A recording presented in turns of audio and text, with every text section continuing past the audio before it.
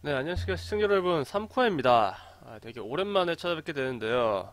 제가 그동안 뭐 몸 상태라든지 혹은 다른 집안 사정이라든지 컴퓨터 문제로 진행하던 미드방 최강전 또한 잠시 멈추고 되게 오랫동안 휴식 기간을 가진 점 사과드리면서 자 오늘부터 방송 재개됩니다. 그렇기 때문에 그 첫 번째 컨텐츠로 오늘 업데이트된 6.83 업데이트를 진행하 그 분석을 진행하도록 하겠습니다. 자 잠시 트위치 제목만 좀 바꾸겠습니다. 6.83 패치 분석. 네. 자 흩날리는 업데이트 라면서 이제 새로운 업데이트를 밸브 쪽에서 내놨는데요. 아직 메인 서버에는 적용이 되고 있지 않습니다. 테스트 서버로 찾아보실 수 있으신데요. 테스, 테스트 서버는 이제 도타2가 있으신 분이라면은 전부 다 받을 수 있는 상황으로 되어 있으니까 한번 찾아보시면은 있을 겁니다. 그, 쪽 라이브러리로 가시면은 이쪽 도타2 테스트라고 있습니다. 도타2 테스트라고 되어 있는 걸 다운받으시면은, 어, 약간 본섭과는 다르게 뭐 상점 그런 것도 없고 대신에 뭐 콘솔을 사용하면은 코스메틱을 낄수 있긴 있습니다만 뭐 그게 중요한 건 아니고요. 이제 패치가 메인 서버에 들어오기 전에 버그 테스트용으로 사용을 하는 거기 때문에 만약에 좀 더 일찍 변한 모습을 보신 분들 보, 아, 보시고 싶으시다면은 그걸 사용하시면 되겠습니다. 자, 여하튼간 뭐 빠르게 흩날리는 눈 혹은 Alt 클릭 업데이트를 진행하도록 하죠. Alt 클릭이 이번에 새로운 패치 섹션이 생긴 생겼는데 그건 나중에 다루도록 하겠습니다. 자, 6.83이 추가되었고요. 이게 아마 가장 클 겁니다. 자, 그리고 지도도 좀 바뀌었습니다. 뭐 이건 뭐 만약에 환상 점수 그러니까 환상 리그를 하시는 분들이라면은 그거에 따른 보상이 이런 새로운 순간이동 주문서의 애니메이션으로 나타나게 되고요.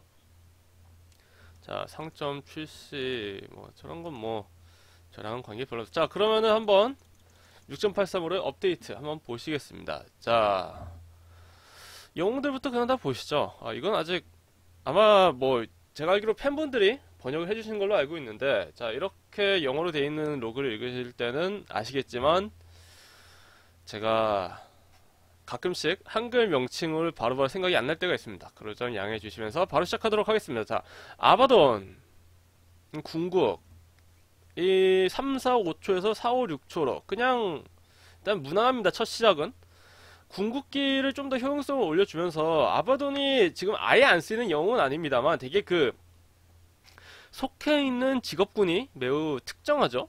오프레인으로 갈 때 생존력 높은 캐리를 오프레인으로 보낼 때 같이 보내는 용도. 이긴 한데 궁극기의 지속 시간이 늘어난다고 뭐 그렇게까지 효용성이 늘어날 것 같지는 않습니다. 좀 더 유틸성이 높아지는 것 뿐이겠죠.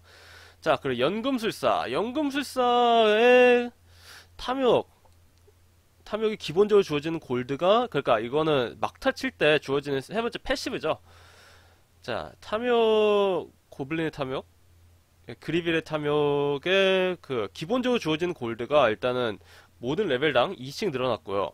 자 그리고 이제 스택별로 그러니까 이게 연속적으로 막타를 치게 되면은 주어지는 이제 기본 골드 플러스 이 보너스 골드가 되는데 그 보너스 골드가 레벨당 1씩 늘어나는 1, 2, 3, 4에서 그냥 3 고정이 돼서 1레벨만 줘도 상당히 뭐 나쁘지 않게 됐죠. 이것만 보자면은. 자, 그래 최대 골드 보너스가 30에서 이제 전 레벨 30이었다가 1, 2, 3, 4, 12, 20, 28, 36으로 레벨당 8씩 늘어나는 뭐 1레벨 줘도 0골드에서 12골드로 바로 늘어나는 1골드만 줘도 좋은 스킬이 되었지만 이게 결론적으로 보자면은 만렙을 찍었을 때 정말 극단적인 파밍을 한다면은 빠르게 만렙을 찍고 막타를 찍는 게 뭐 기존의 그런 효율에 비교하면 상당히 높아졌죠. 36으로. 그리고 이제 막타를 연속적으로 이어나가야 되는 그 시간이 25초에서 30초로 늘어났습니다. 일단 전반적으로 파밍 할 수 있게 뭐 해준 거라고도 할 수 있겠지만 사실 이거의 의의는 이제 1레벨 때 기본 골드라든지 아니면 1레벨 그 보너스 골드 6 플러스 3 기존에 비교하면 4 플러스 1이던 게 6 플러스 3이 되면서 1레벨만 줘도 그렇게까지 효용성이 나쁘지 않다. 전반적인 연금술사의 효용성을 늘리는 거라고 할 수 있겠죠. 연금술사의 영웅 운영법 자체가 되게 물론 farming 효율도 좋지만 또 farming을 한다고 그렇게 세지는 영웅은 아니거든요. 오히려 빠르게 아이템을 뽑고 그 이후 이제 뭐 점멸단검이라든지 아니면 뭐 어둠의 검을 사용해서 자기 자신의 stun과 궁극을 사용해서 초중반에 상대방을 ganking하면서 좀 더 싸워야 되는 carry로서의 방향이 많이 부각되는 영웅이었던 만큼 이렇게 1레벨만 줘도 탐욕의 효율이 올라간다라는 거는 상당히 유용하다고 할 수 있겠습니다. 1레벨 찍고 나머지 스킬에 스킬을 포인트를 줘라라는 식의 의미로 받아들일 수 있겠고요. 뭐 그런 뭐 극단적으로 farming을 하는 것도 효율이 좀 올라가는 전반적으로 좋은 buff라고 생각이 됩니다. 자, 도끼전사. 음, 전쟁의 탐욕이었나요? 탐욕이 아니죠. 자, Battle Hunger. 그, dot damage 주는 스킬이죠. 이것도 바로바로 바로 이름이 기억 안 나요. 제가 그 오랜만에 이거를 하게 되니까 이런 점 많이 미숙하게 되네요. 사과드리면서 자 일단 지속시간은 전반적으로 너프가 되었습니다. 그냥 1레벨 10초에서 2초씩 늘어나던 게 그냥 10초 고정이 됐죠. 대신 데미지가 늘어났는데 자 15에서 5초씩 늘어나서 30초가 되던 게 16에서 40초로 늘어났고 데미지로 따지자면은 이제 16초 동안 480 데미지를 주던 게 주던 게 이제 10초 동안 400 damage. 요. damage.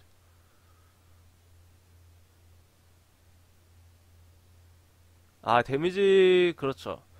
잠시 잘못 읽고 있었네 16초 동안 이제 그가 만렙시 16초 동안 480을 주던 게 그냥 10초 동안 400을 주는 걸로.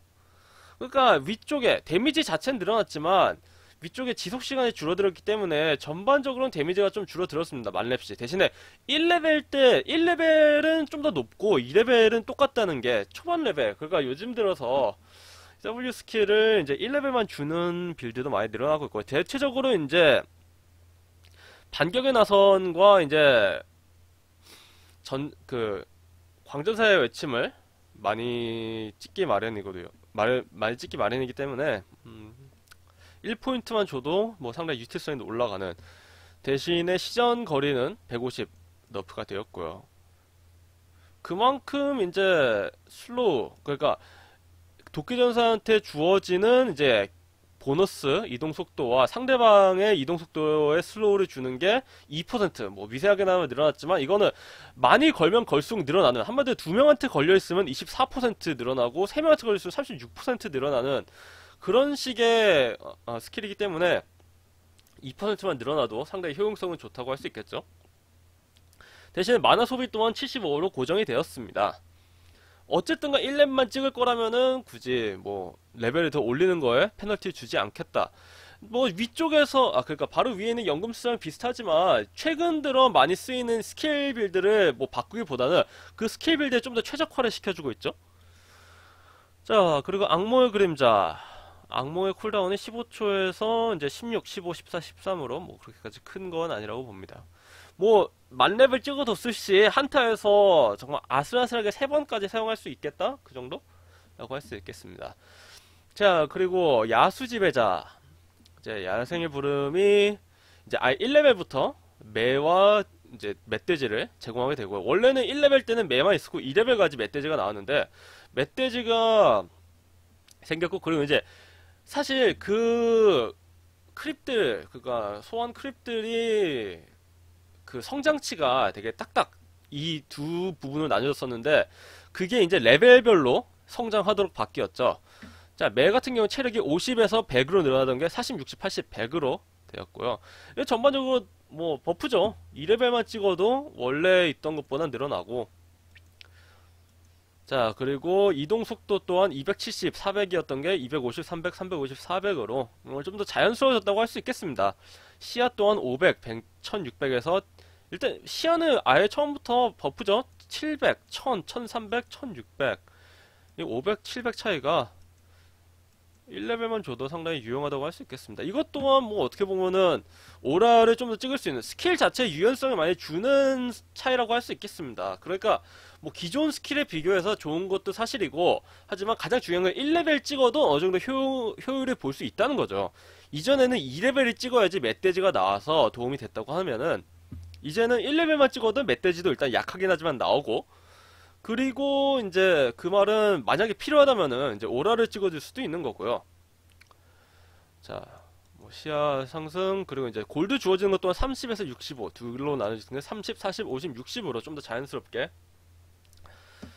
자, 그리고 멧돼지의 체력은 400, 500에서 200, 300, 400, 500으로 멧돼지 같은 경우는 이제 1렙이 추가되었으니까 약간 뭐 그냥 보자면 높을 수도 있는데 일단 1레벨부터 멧돼지가 나온다는 것 자체가 상당히 유용합니다.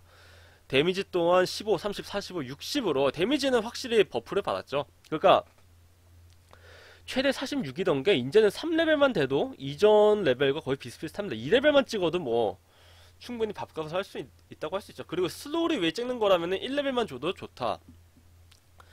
라는 거고요. 전반적으로 뭐 만렙은 아니지만 3렙까지는 이제 이동 그 시, 아, 그 공격 시간도 상당히 빨라졌습니다. 이 베이스 어택 타임이라는 게 저번에 한번 말씀을 드렸지만 그 공격 속도가 높다고 무조건 공격을 빨리 하는 게 아니라 만약에 A란 영웅과 B란 영웅이 같이 그 공격 속도 똑같은 공격 속도 플러스 500을 받는다면은 이제 좀 더 이 공격 시간이 낮은 쪽이 어, 유용합니다. 한마디로 연금술사처럼 이 공격 속 그러니까 고, 연금술사 궁극을 쓰면은 그 공격 시간이 낮아지기 때문에 그 낮아진 만큼 공격 속도의 효율이 올라가는 거고요. 자, 그리고 뭐 슬로우는 뭐 10, 20, 30, 40. 뭐 전반적으로 만렙시 더 높아졌고요. 5% 정도. 이게 두 마리이기 때문에 80% 스택이 된다는 거를 아시는 거. 그리고 자 피해 혈귀 캡틴 모드에 추가됐습니다.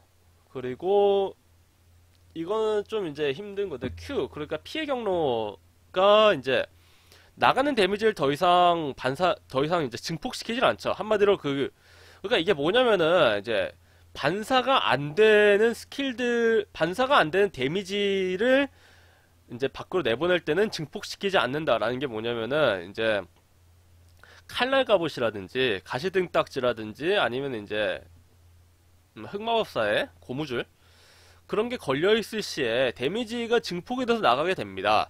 근, 근데 그것들은 서로 이제 무한 루프가 되는 걸 막기 위해서 반사가 안 되도록 되어 있는데요. 자, 그렇게 반사가 되지 않는 스킬들로 인한 데미지가 나간다면은 증폭이 되지 않습니다. 이거는 이제 뭐를 방지하기 위함이냐면은 이전에 칼날 갑옷을 사용해서 상대방한테 피의 격노 걸고 자신한테 피의 격노 걸고 피의 분노를 걸고 데미지를 치고 상대방한테 데미지를 받으면은 이게 칼날 갑옷으로 인해서 상대방은 데미지를 주는 게 증폭이 되고 그러면은 혈귀는 자신이 받는 데미지도 증폭이 되고 그러면은 혈귀가 또 나, 혈귀가 이제 반사하는 데미지도 칼날 갑옷을 반사하는 데미지도 증폭이 되고 또 그걸 받는 영웅이 다시 한번 증폭이 되면서 네 번의 증폭을 통해서 엄청난 데미지를 주게 되었는데 그거를 어느 정도 통제를 하는 거죠.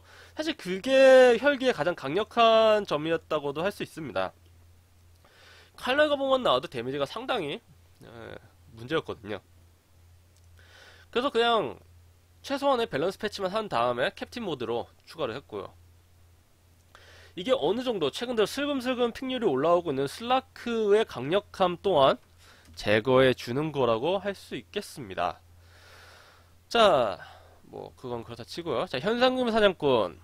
일단은 이제 현상금 보너스 추적으로 인한 보너스 골드가 자신한테 주어지는 보너스 골드가 이제 레벨당 상당히 올랐고요.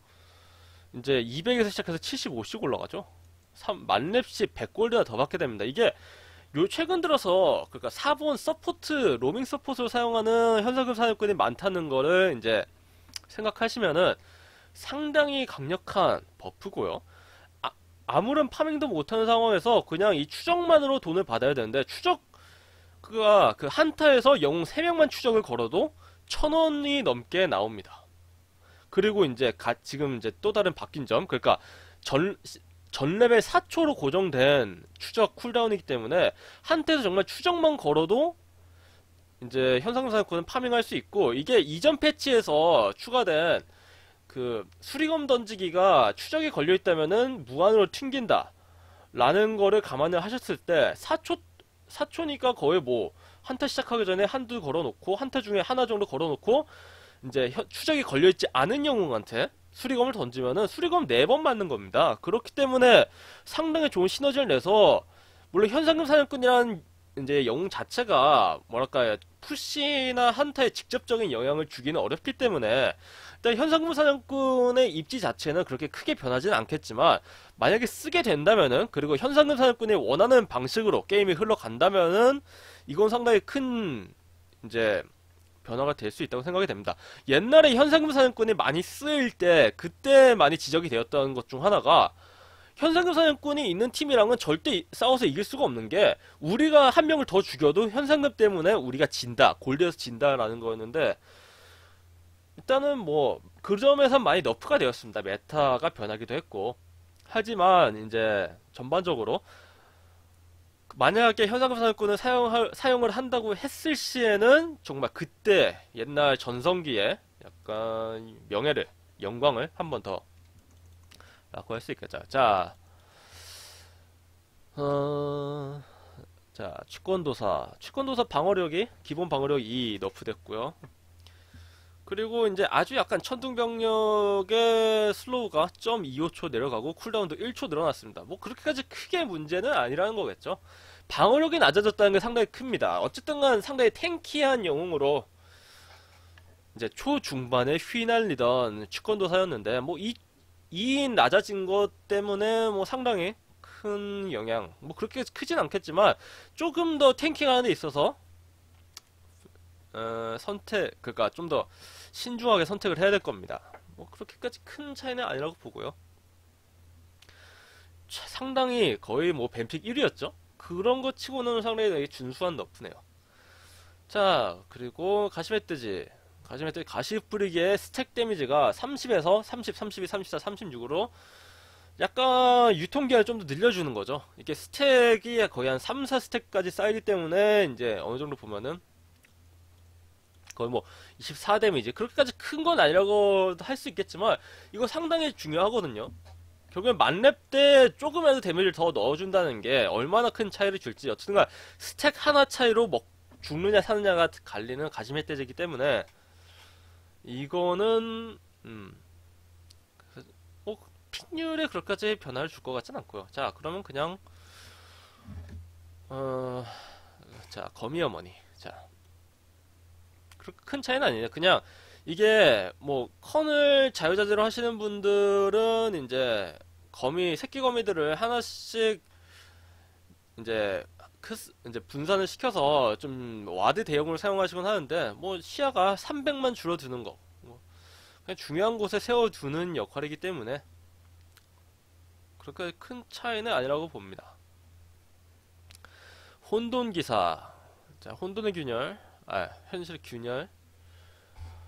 자, 25, 50, 75 데미지에서 뭐 근소하게 늘어났고요. 대신 1레벨 데미지가 상당히 늘어났습니다. 1레벨 데미지가 35나 늘어났다는 게 초반 그러니까 혼돈 기사는 carry임에도 불구하고 snowballing을 처음부터 굴려야 되는 영웅입니다. farming이 정말 극악하게 극악 무도할 정도로 안 되거든요.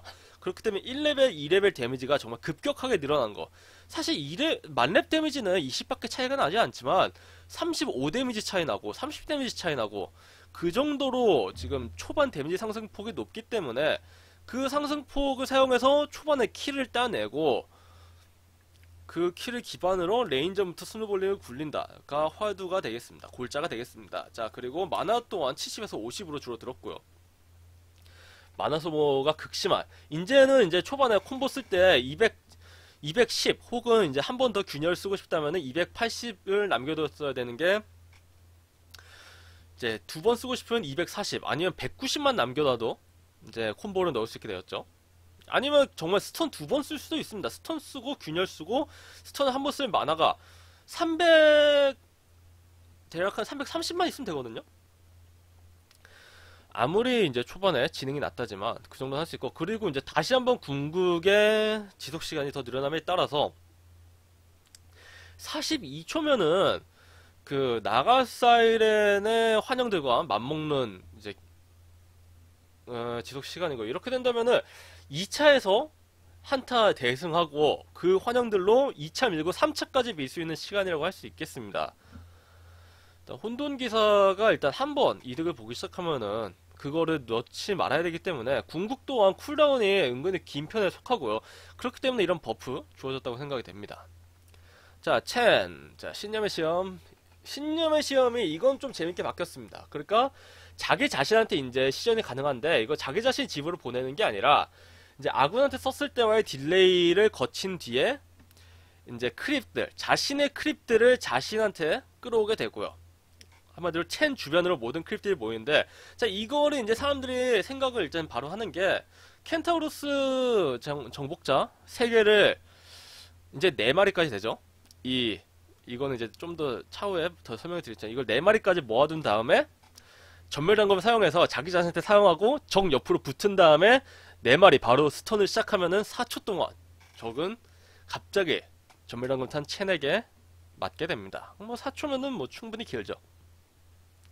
자, 그리고 중요한 게, 이 creep을 조종하는 스킬이 1, 1, 2, 3이었던 게 1, 2, 3, 4로 바뀌면서 일단 그 creep의 효용성, 이건 뭐 고대 creep 4마리도 되고요.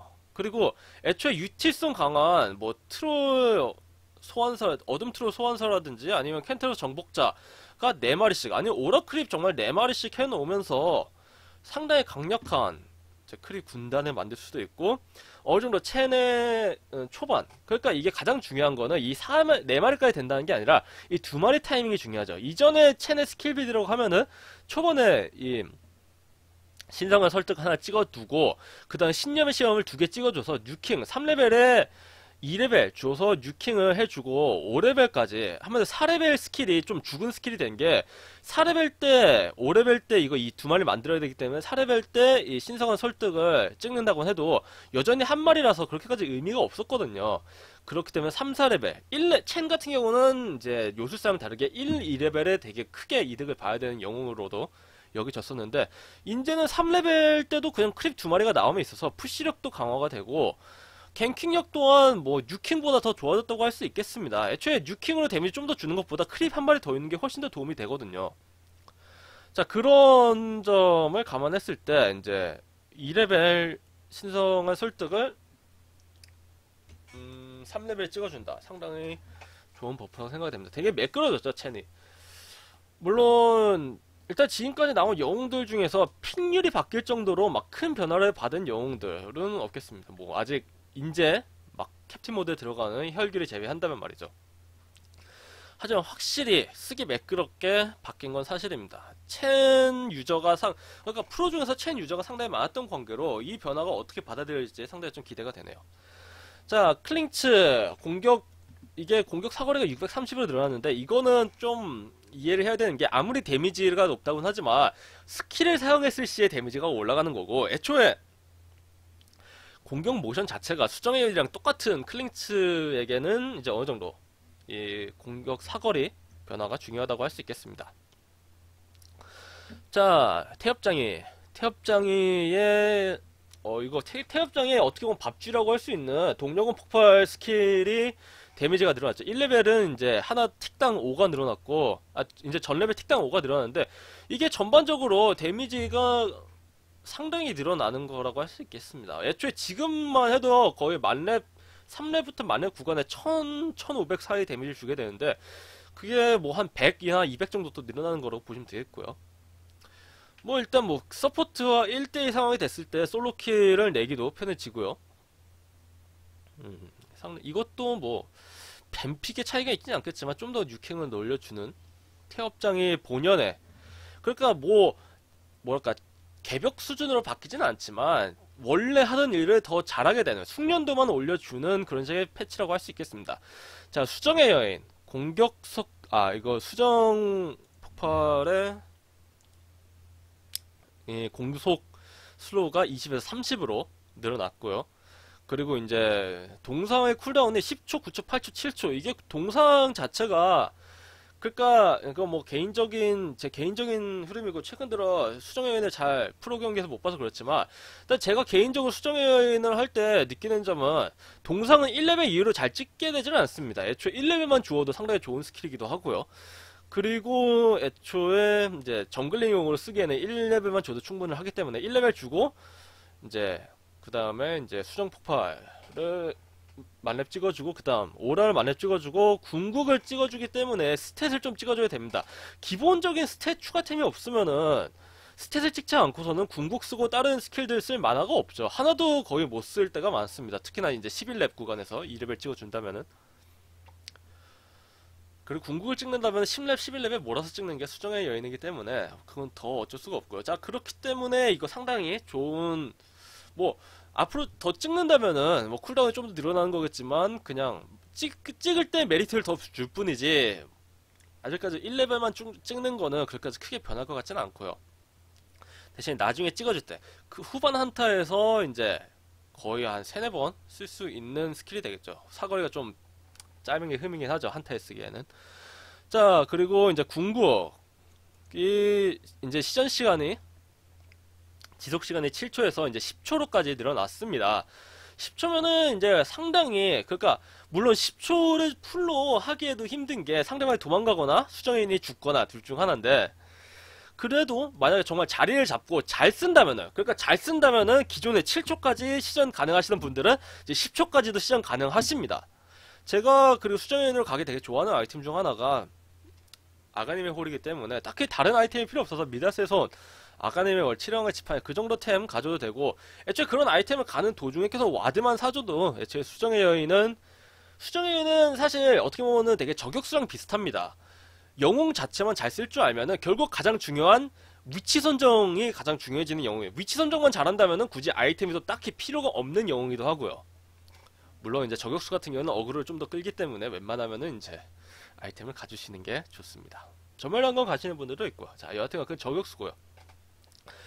자, 그리고 궁극의 그 이제 궁극 그 서리장 안에 이제 랜덤하게 폭발이 일어나게 되는데 그 폭발의 slow와 그 slow 범위 slow와 폭발 범위가 이제 150 늘어났고요. 그리고 데미지를 주는 이제 범위 또한 50 늘어났습니다.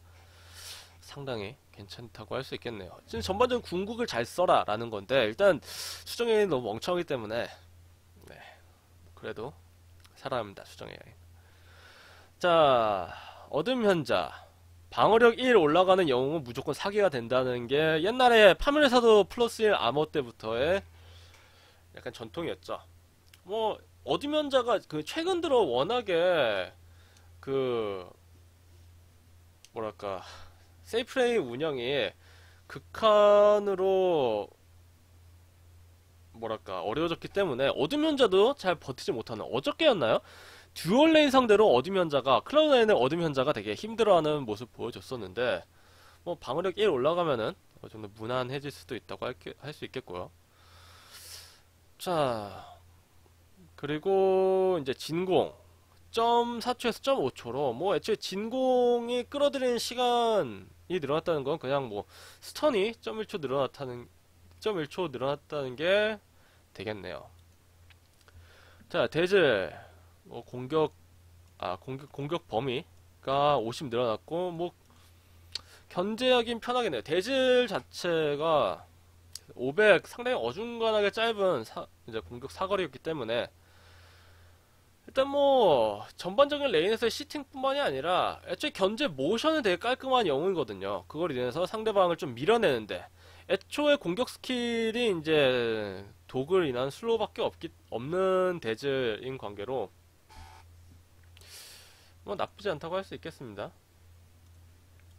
그럴까지 큰 변화는 아니라고 생각이 되고 자 그리고 죽음의 연자 이제 레벨당 힘 증가율이 0.3 감소되었는데요. 뭐 보면은 0.3 12 7.2의 25렙 기준으로 7.2의 힘 손실이 있습니다. 뭐 7.2 정도라면은 대략 한 음, 130 정도의 체력 손실인데 애초에 뭐랄까 후반으로 갔을 때 뭐 그렇게까지 큰 수치는 아니지만 후반으로 갈수록 성장치를 좀 낮추고 캐리력을 좀 더 약화시키겠다. 뭐 일단은 되게 조그맣게 건드리고 있다는 거를 그러니까 애초에 죽음의 예언자의 운영 방식을 사용해 보 생각해 보시면 좀 더 빠릅니다. 애초에 죽음의 예언자의 운영은 궁극을 키고 본체는 죽지 않으면서 침묵을 계속 날려주는 게 후반 한타의 흐름인데 에, 그런 흐름을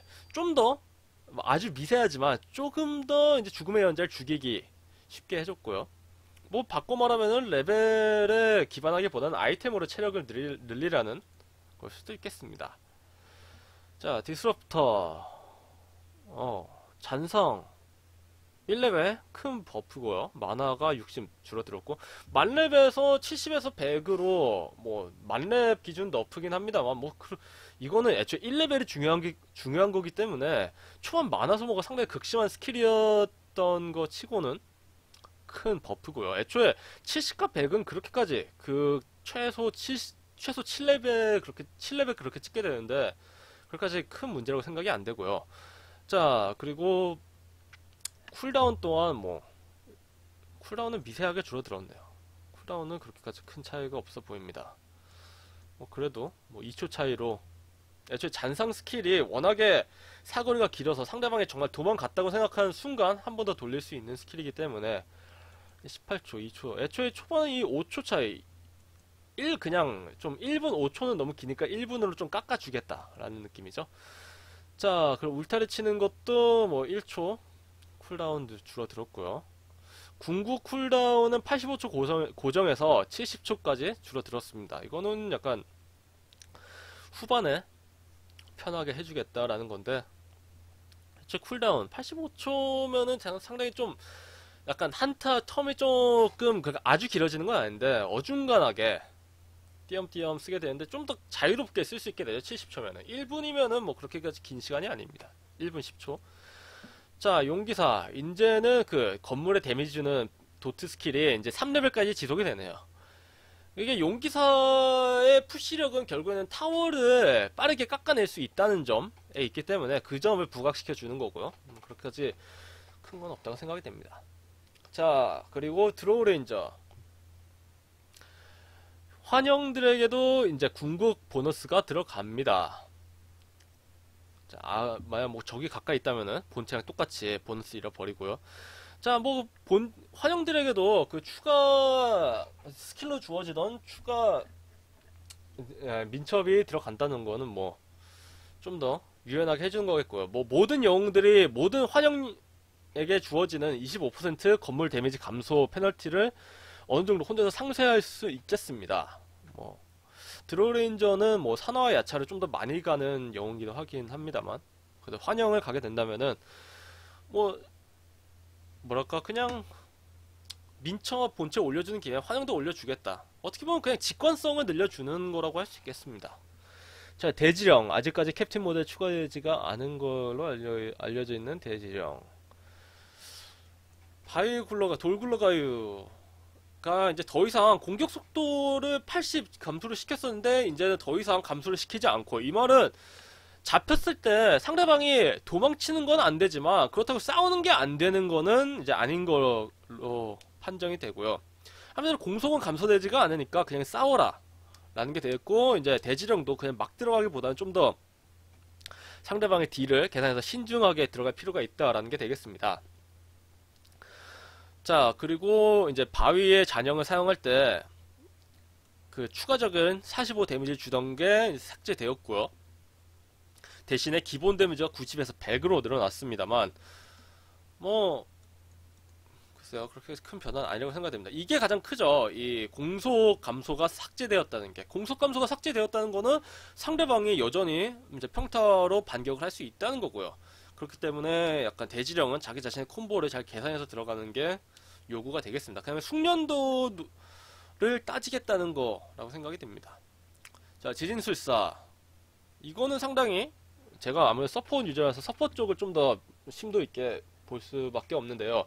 상당히 되게 좋습니다. 초반 마나가 50 고정해서 20, 30, 40, 50으로 늘어나는데 뭐 크리 쉐이커가 아닌 이상 만렙을 찍게 되는 건 상당히 뭐 아예 안 찍을 때도 있고 아예 그냥 1렙으로 남겨줄 때도 있고 아니면은 나중 가서 찍게 되는데 초반 20이라는 거는 초반에 이 토템 강화의 의미가 무엇이냐? 토템 강화의 의미는 여진을 발동시키겠다는 겁니다. 그러니까 들어가서 일단은 균열로 상대방 막아놓고 여진으로 연속적으로 체인스턴을 넣겠다는 건데 그게 만화가 부족해서 안 되거든요.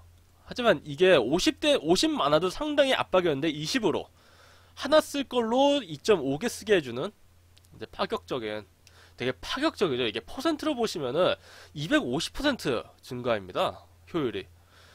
그렇기 때문에 이거는 상당히 큰 buff라고 할 수 있겠고요. 물론 말씀드렸듯이 pick률이 바뀔 정도는 아닙니다. 그렇게 큰 변동은 아직까지 뭐 보이지 않고 있고요. 뭐 디스럽터 정도. 자 그리고 고대 티탄, 고대 티탄의 그 우주의 영혼 데미지가 1레벨은 똑같지만 뭐 다시 한번 이거는 나온 이후로 지속적으로 nerf가 되고 있죠. 나왔을 때 정말 이거 처음 데미지가 상당히 압박이었습니다. off-lane에서 정말 tri-lane을 혼자 씹어먹을 정도의 데미지였죠. 자, 일단 150 만렙 기준으로 150까지 깎였고요. 자 그리고 이제 발구르기를 시전하는 동안 우주의 영혼이 움직일 수 있었던 버그를 고치는 건 그냥 bug fix죠. 아 abuser 사라져라. 자, 요술사. 공식적인 도타 최고 기본 이속, 이동 속도에 등극하셨습니다. 자, 335. 초반 ganking이라든지 아니면 이제 후반에 가기 마련인 광기 가면과 함께 궁극을 사용하기 위한 위치 선정에 매우 유용해졌죠. 이거 상당히 큰 buff입니다. 초반 ganking도 ganking이거니와 후반 한타 위치 선정 상당히 깔끔해졌고요. 근데 뭐 그거 외에는 딱히 더 할 말이 없네요. 좋은 buff입니다. 좋은 이속이다. 자 얼굴 없는 전사. 자 시간 이동은 이제 이동 공격 속도를 낮추지 않습니다. 공격 속도 공격 속도와 이동 속도를 동시에 낮추던 스킬들이 웬만하면은 이동 속도만 늦추는 걸로 이제 많이 바뀌고 있고요. 자 그리고 이제 시간의 구슬 cooldown이 늘어났죠. 이제 만렙 기준으로 10초가 늘어났습니다. 1레벨은 똑같고요.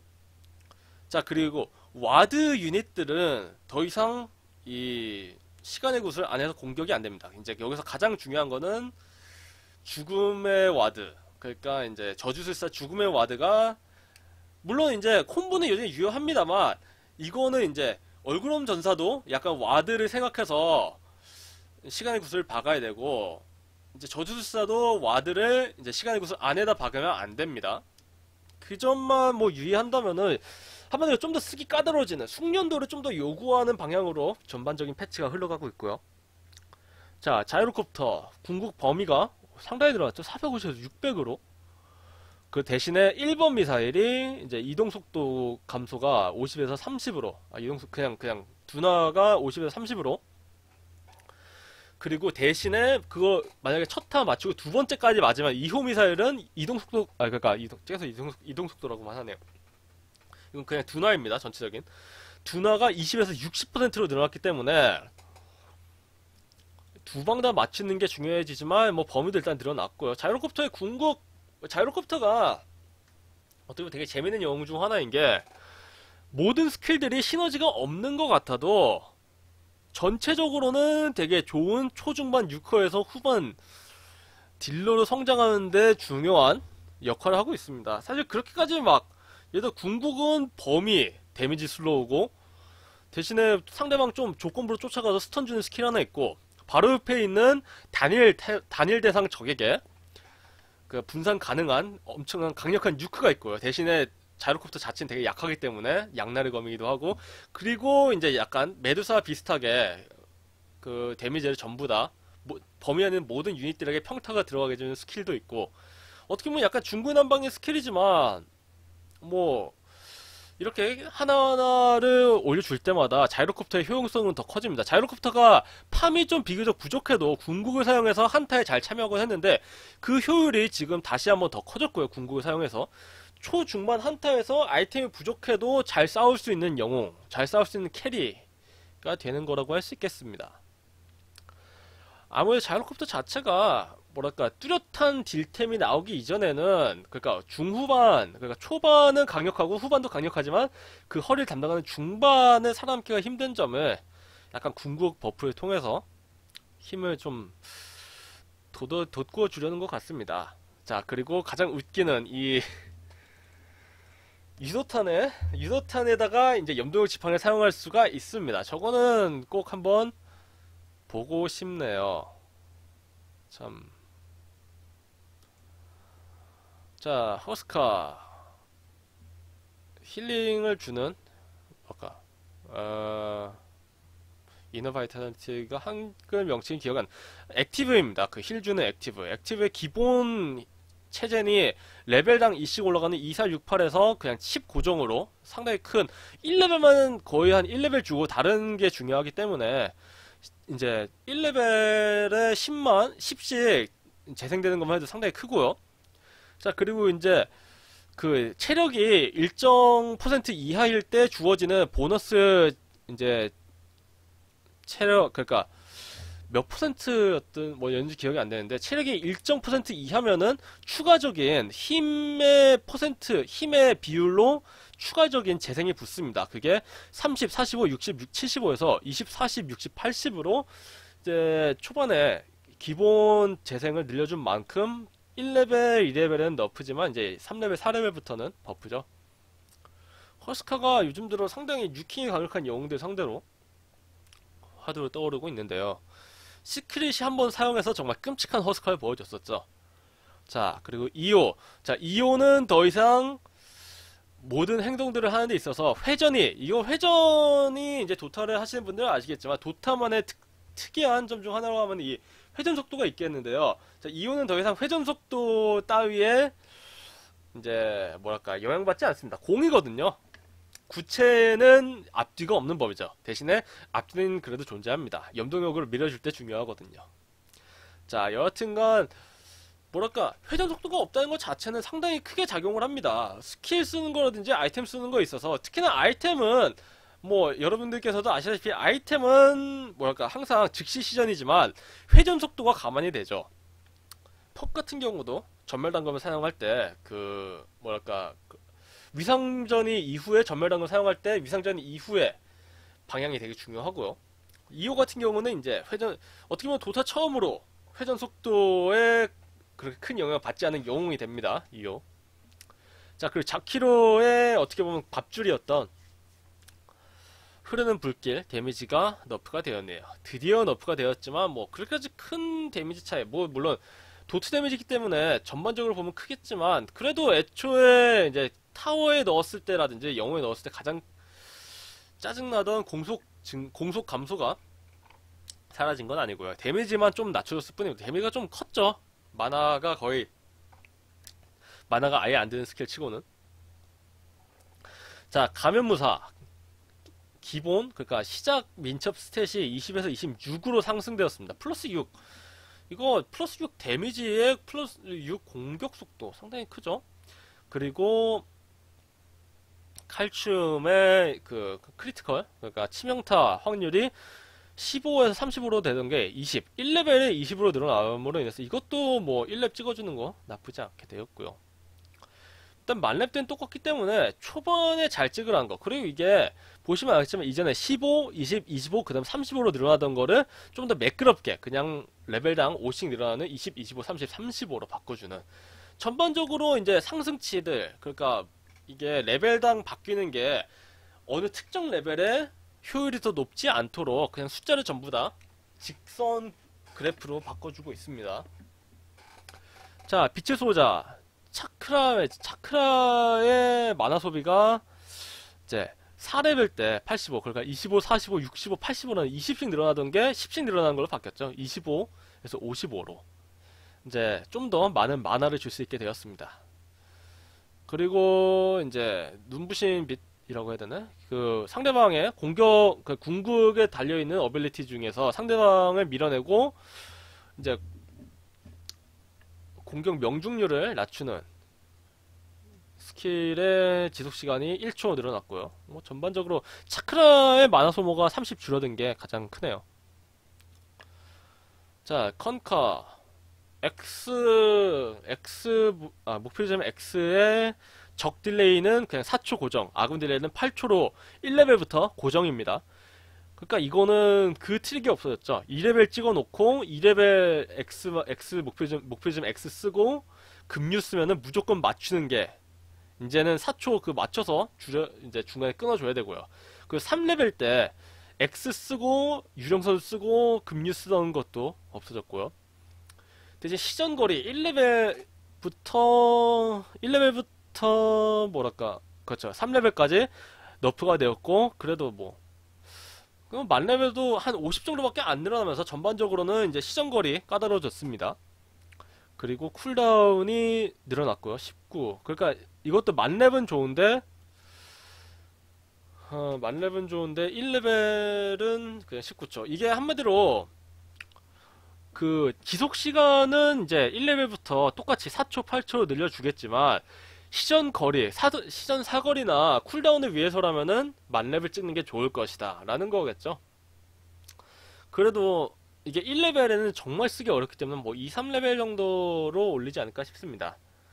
자, 그리고 이제 이게 목표점 X를 시전하고 난 다음에 상대방을 그 최대 사, 최대 그 지속 시간 이전에 돋으려면은 만화가 50 필요했었는데 그걸 0으로 바꿔서 이 지속 시간을 이제 그 4초, 8초 고정으로 만든 거에 대한 보상을 해주고 있고 애초에 컨카가 만화가 상당히 넉넉한 영웅이 아니기 때문에 돌리려다가 만화가 부족한 경우가 어느 정도 있었거든요. 그 점을 상세를 해줬습니다. 자, 레슈락.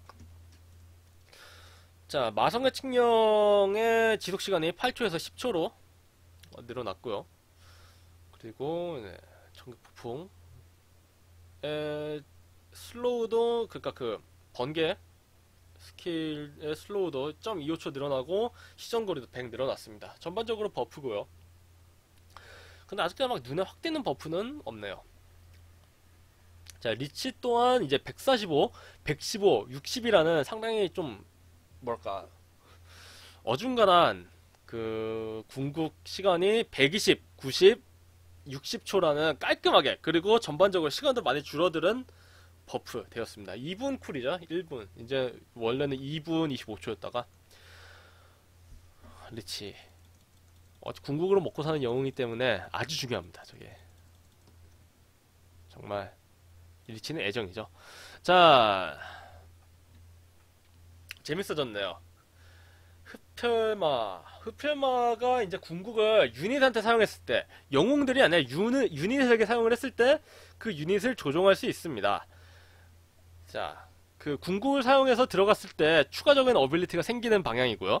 추가적인 ability가 생긴 이후에 그 ability 사용하면은 이제 기술 사용해서 이제 그 creep을 조종을 할 수가 있고 뭐 적들도 이제 공격을 할 수는 있게 됩니다만 이제 중요한 거는 가장 중요한 게 이겁니다. 흡혈기의 이동 속도로 움직이는 유닛. 한마디로 중립 creep을 하나 중립 creep에 들어간 다음에 흡혈 흡혈마의 그 흡혈마의 이동 속도로 이동을 하는 거죠. 그러면 켄타우스 정복자를 정복자 안에 잠복을 한 다음에 이제 거의 뭐 이동 속도 400 450 정도로 이동을 하게 되면은 뭐 stun 넣기 좀 더 편해지고 stun 넣고 나와서 이제 때리기 시작하는 겁니다. 뭐 어느 정도 활용 가능성이 무궁무진해졌고요. 이것 또한 뭐 정말 영웅 자체가 아주 강해졌다기보다는 util성이 좀 더 늘어났네요. 그리고 재밌어졌고요. 조종이라. 네. 그리고 리나의 그 공격 투사체, 투사체의 속도가 900에서 1000으로 늘어난 거는 뭐 아무래도 이동 속도는 그 공격 사거리는 지속적으로 늘어났는데 공격 그 투사체는 너무 느리다라는 게 되겠고요. 자, Dragon Slave 이제 앞으로 나가는 그 날아가는 용의 nuking이죠. 데미지가 늘어났습니다. 320으로 상당히 늘어났고 그만큼 mana 소비도 mana 소비는 그렇게 크게 늘어나진 않았네요. 자, 그리고 stun stun 또한 데미지가 1레벨 120이지만 뭐 만렙은 오히려 nerf가 당했네요. 대신 nerf 당한 40만큼 이제 Q에 들어갔고 이게 음, Q 자체의 사거리가 좀 더 넓기 때문에 그거를 좀 더 뭐랄까 그러니까 stun을 애초에 그 빛의 기둥은 뭐랄까 그냥 stun 용도로만 놓고 나중에 추격 마지막 상대방 마무리용으로 쓰기에는 도망치는 적한테 날리기에는 사거리가 애초에 안 닿는 스킬이기 때문에 보통 이 Dragon Slave로 마무, 마무리를 하긴 했는데 그 데미지를 일단 이쪽에서 깎아서 저쪽에 붙여줌으로 인해서 최종적인 데미지는 똑같지만 뭐랄까 좀 더 추격 시에 데미지 사거리가 늘어난 좀 더 매끄러졌다고 할 수 있겠습니다. 다시 한번 mana 소비도 뭐 그렇게까지 크게 늘어나진 않았고요. 자 그리고 stun 시간이 뭐 만렙시 0.3초 늘어났네요.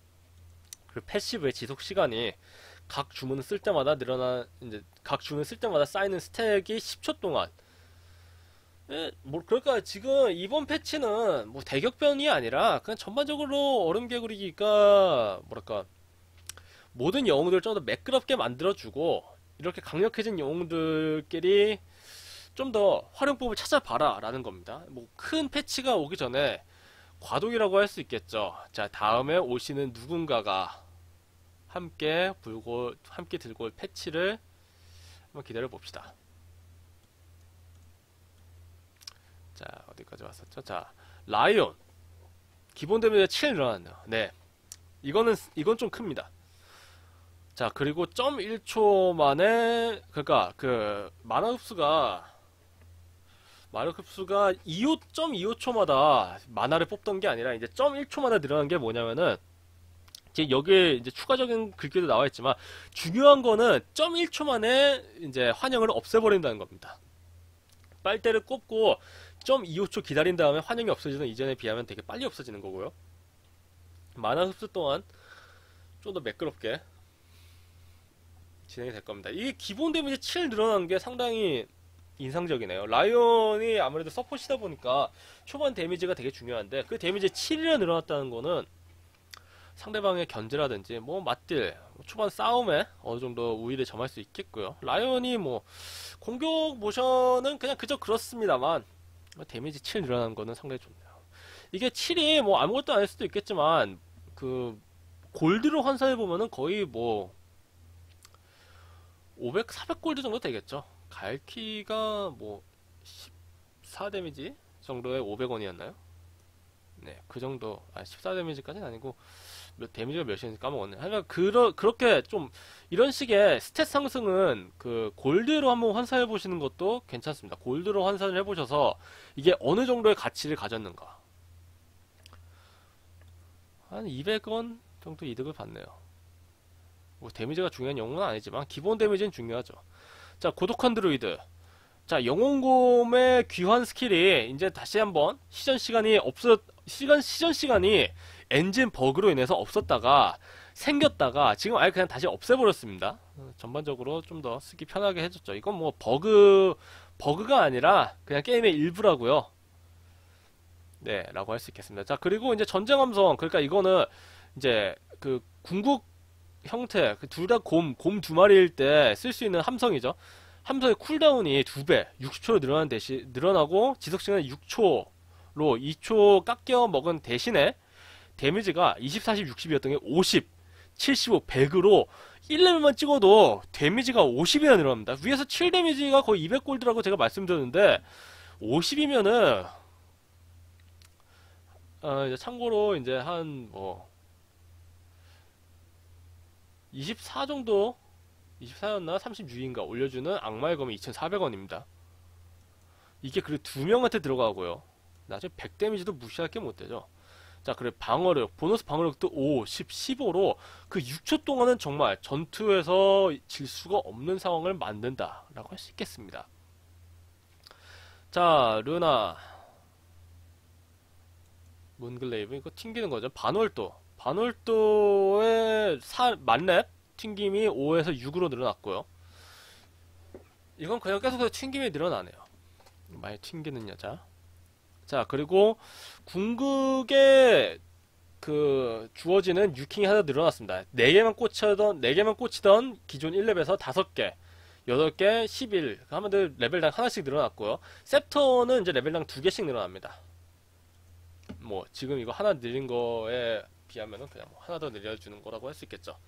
자, 그리고 미포. 미포에 이제 많은 분들이, 미포를 많이 하신 분들이 많이 지목을 하시던, 사실 미포의 가장 강력한 점은, 만렙시, 궁극 만렙시에, 그 respawn이 30%나 줄어든다는 게 상당히 크다. 이게 그 네크로 그니까 강령사제의 궁극으로 인해서 30초 더 붙는 게 얼마나 큰지를 생각해 보시면은 30% 궁, 이제 부활 시간 감소가 얼마나 크신지 아실 겁니다. 대신 1레벨의 buff 대신에 만렙 때는 nerf인 20% 고정으로 해주면서 일단은 20% 고정으로 했을 시에는 그 극후반 타이밍 그 극후반에 좀 더 손해라고 할 수 있겠습니다. 초반에 몇 초는 그렇게 큰 게 아니지만 극후반에 10%면은 거의 막 10초, 20초가 왔다 갔다 하는 거거든요. 음, 이거는 전반적으로 nerf라고 할 수 있겠습니다. 자, 모플링 다면 공격에 이제 힘을 최대로 했을 시, 그러니까 힘이 민첩보다 높을 시에 들어가는 stun이 최대 stun 시간이 4.25초로 늘어났습니다만 이거 모플링 힘 모플링 운영은 거의 하지 않죠. 그래도 이게 최대 그러니까 최대 4.25초라는 거는 전반적으로 힘에 따라서 물론 힘이 미쳤보다 높아야겠지만요. 도망치는 도중에 다면 공격을 쓰면은 스턴이 좀 길게 들어갈 수도 있다. 라는 게 되겠습니다. 뭐랄까 그냥 혹시라도 쓰일까봐 넣어주는 그러니까 뭐 주로 들고 다니는 칼을 넣, 버프해 준 건 아닌데 대신에 이제 숨겨 다니는 단도를 좀 버프해 주는 것 같죠? 자 밤의 추격자 이건 좀 크네요 자 일단 기본 공격이 4 올라갔습니다 그리고 이제 침묵. 공포의 만화 소비가 90에서 50으로 줄어들었고요. 자 그리고 이제 궁극.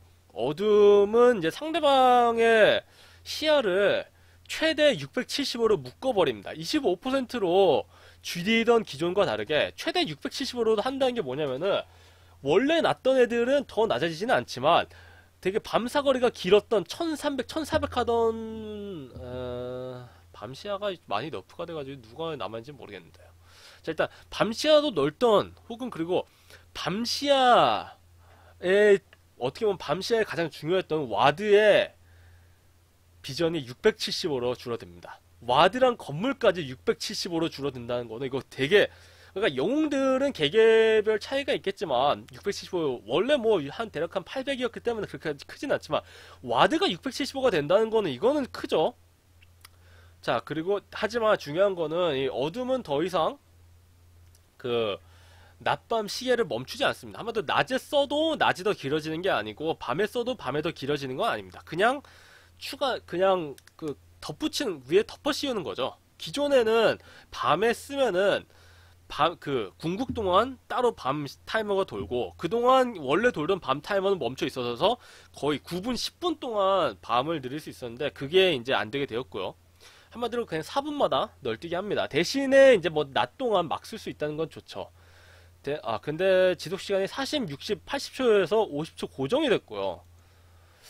50초 고정. 그리고 대신 cooldown이 3분에서 뭐 20초씩 깎인 건데, 뭐 80초에 한 번씩, 한마디로 낮 동안은 30초 cooldown을 두고 50초 계속해서 쓸 수는 있겠습니다. 30초 동안 downtime이 있는 낮 시간이고, 밤에, 물론 밤 동안, 이게 중요한 거는 이 시야를 줄이는 거는 뭐 아니지만, 밤의 추격자가 강력해지는 타이밍은 뭐 만렙 기준 시에 이제 4분 동안 밤 있고 낮 동안 4분의 낮 동안은 이제 따져 보자면은 음 대략 한 1분 30초를 제외하면은 낯을 이렇게 지속적으로 자신의 궁극으로 덮을 수 있습니다.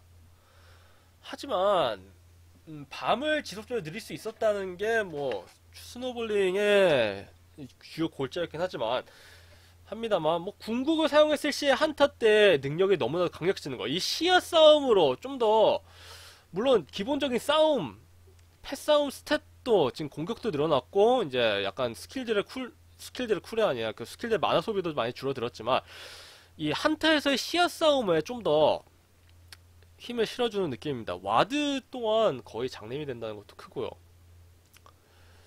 자, 이 밤의 추격자의 사용법 어떻게 될지 저 그러니까 이게 지금 찬반 논란 참, 찬반 논쟁이 어느 정도 있는 걸로 알고 있습니다. 그러니까 어둠을 밤에 지속적으로 사용해서 밤을 늘리는 게 좋았느냐 아니면 지금처럼 사용하는 게 좋느냐 물론 대략 한 1, 2레벨 기준으로 한다면은 거의 뭐 낮 동안은 어, 궁극 한 두 번 정도 쓸 수 있다라는 게 뭐 정설입니다.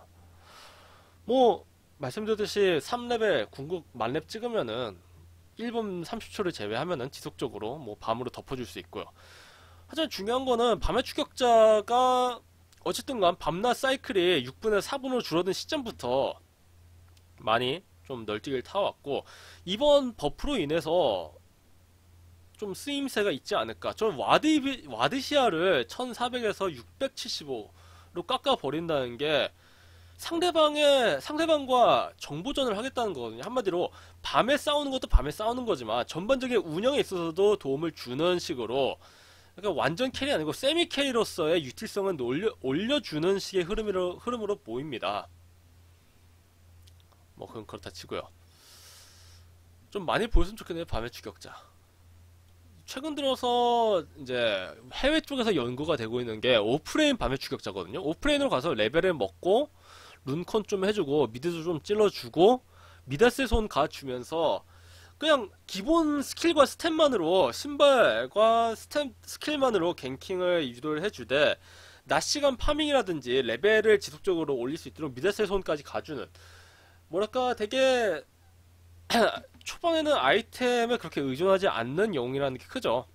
그런 식의 흐름도 있었는데 자 일단 밤의 추격자 한번 기대를 해보겠습니다.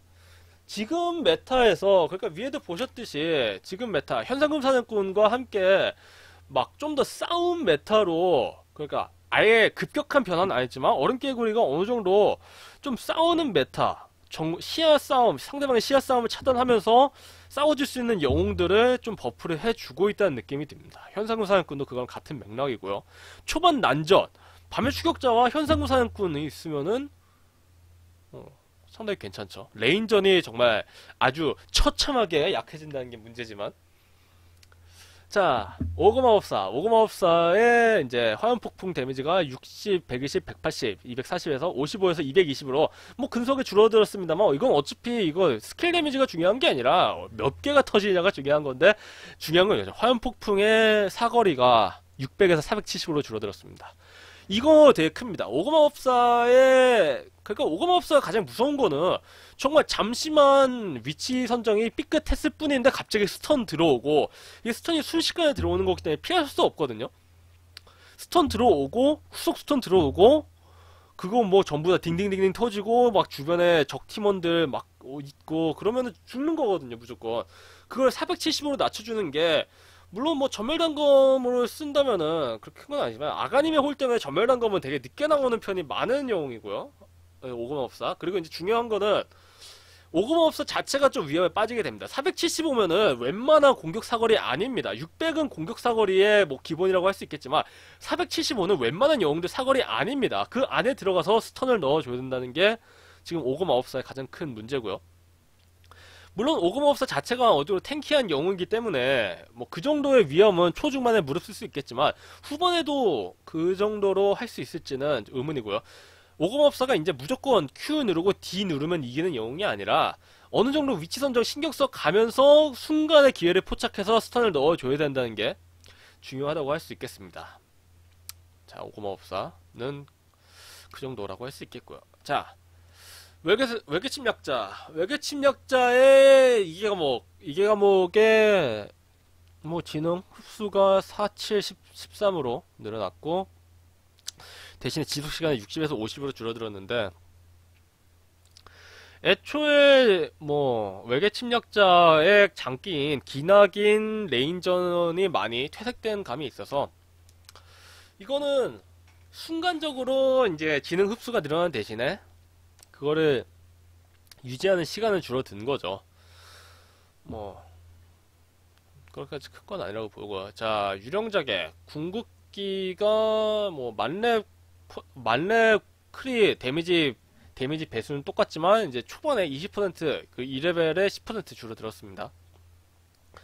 초중반에 너무 강력하다고 느끼는 것 같죠. 애초에 뭐 유령자계 자체가 하드캐리어도 쓰이지만 초중반에 빠른 치명하게 지팡이 이후에 계속해서 싸워질 수 있는 영웅이거든요.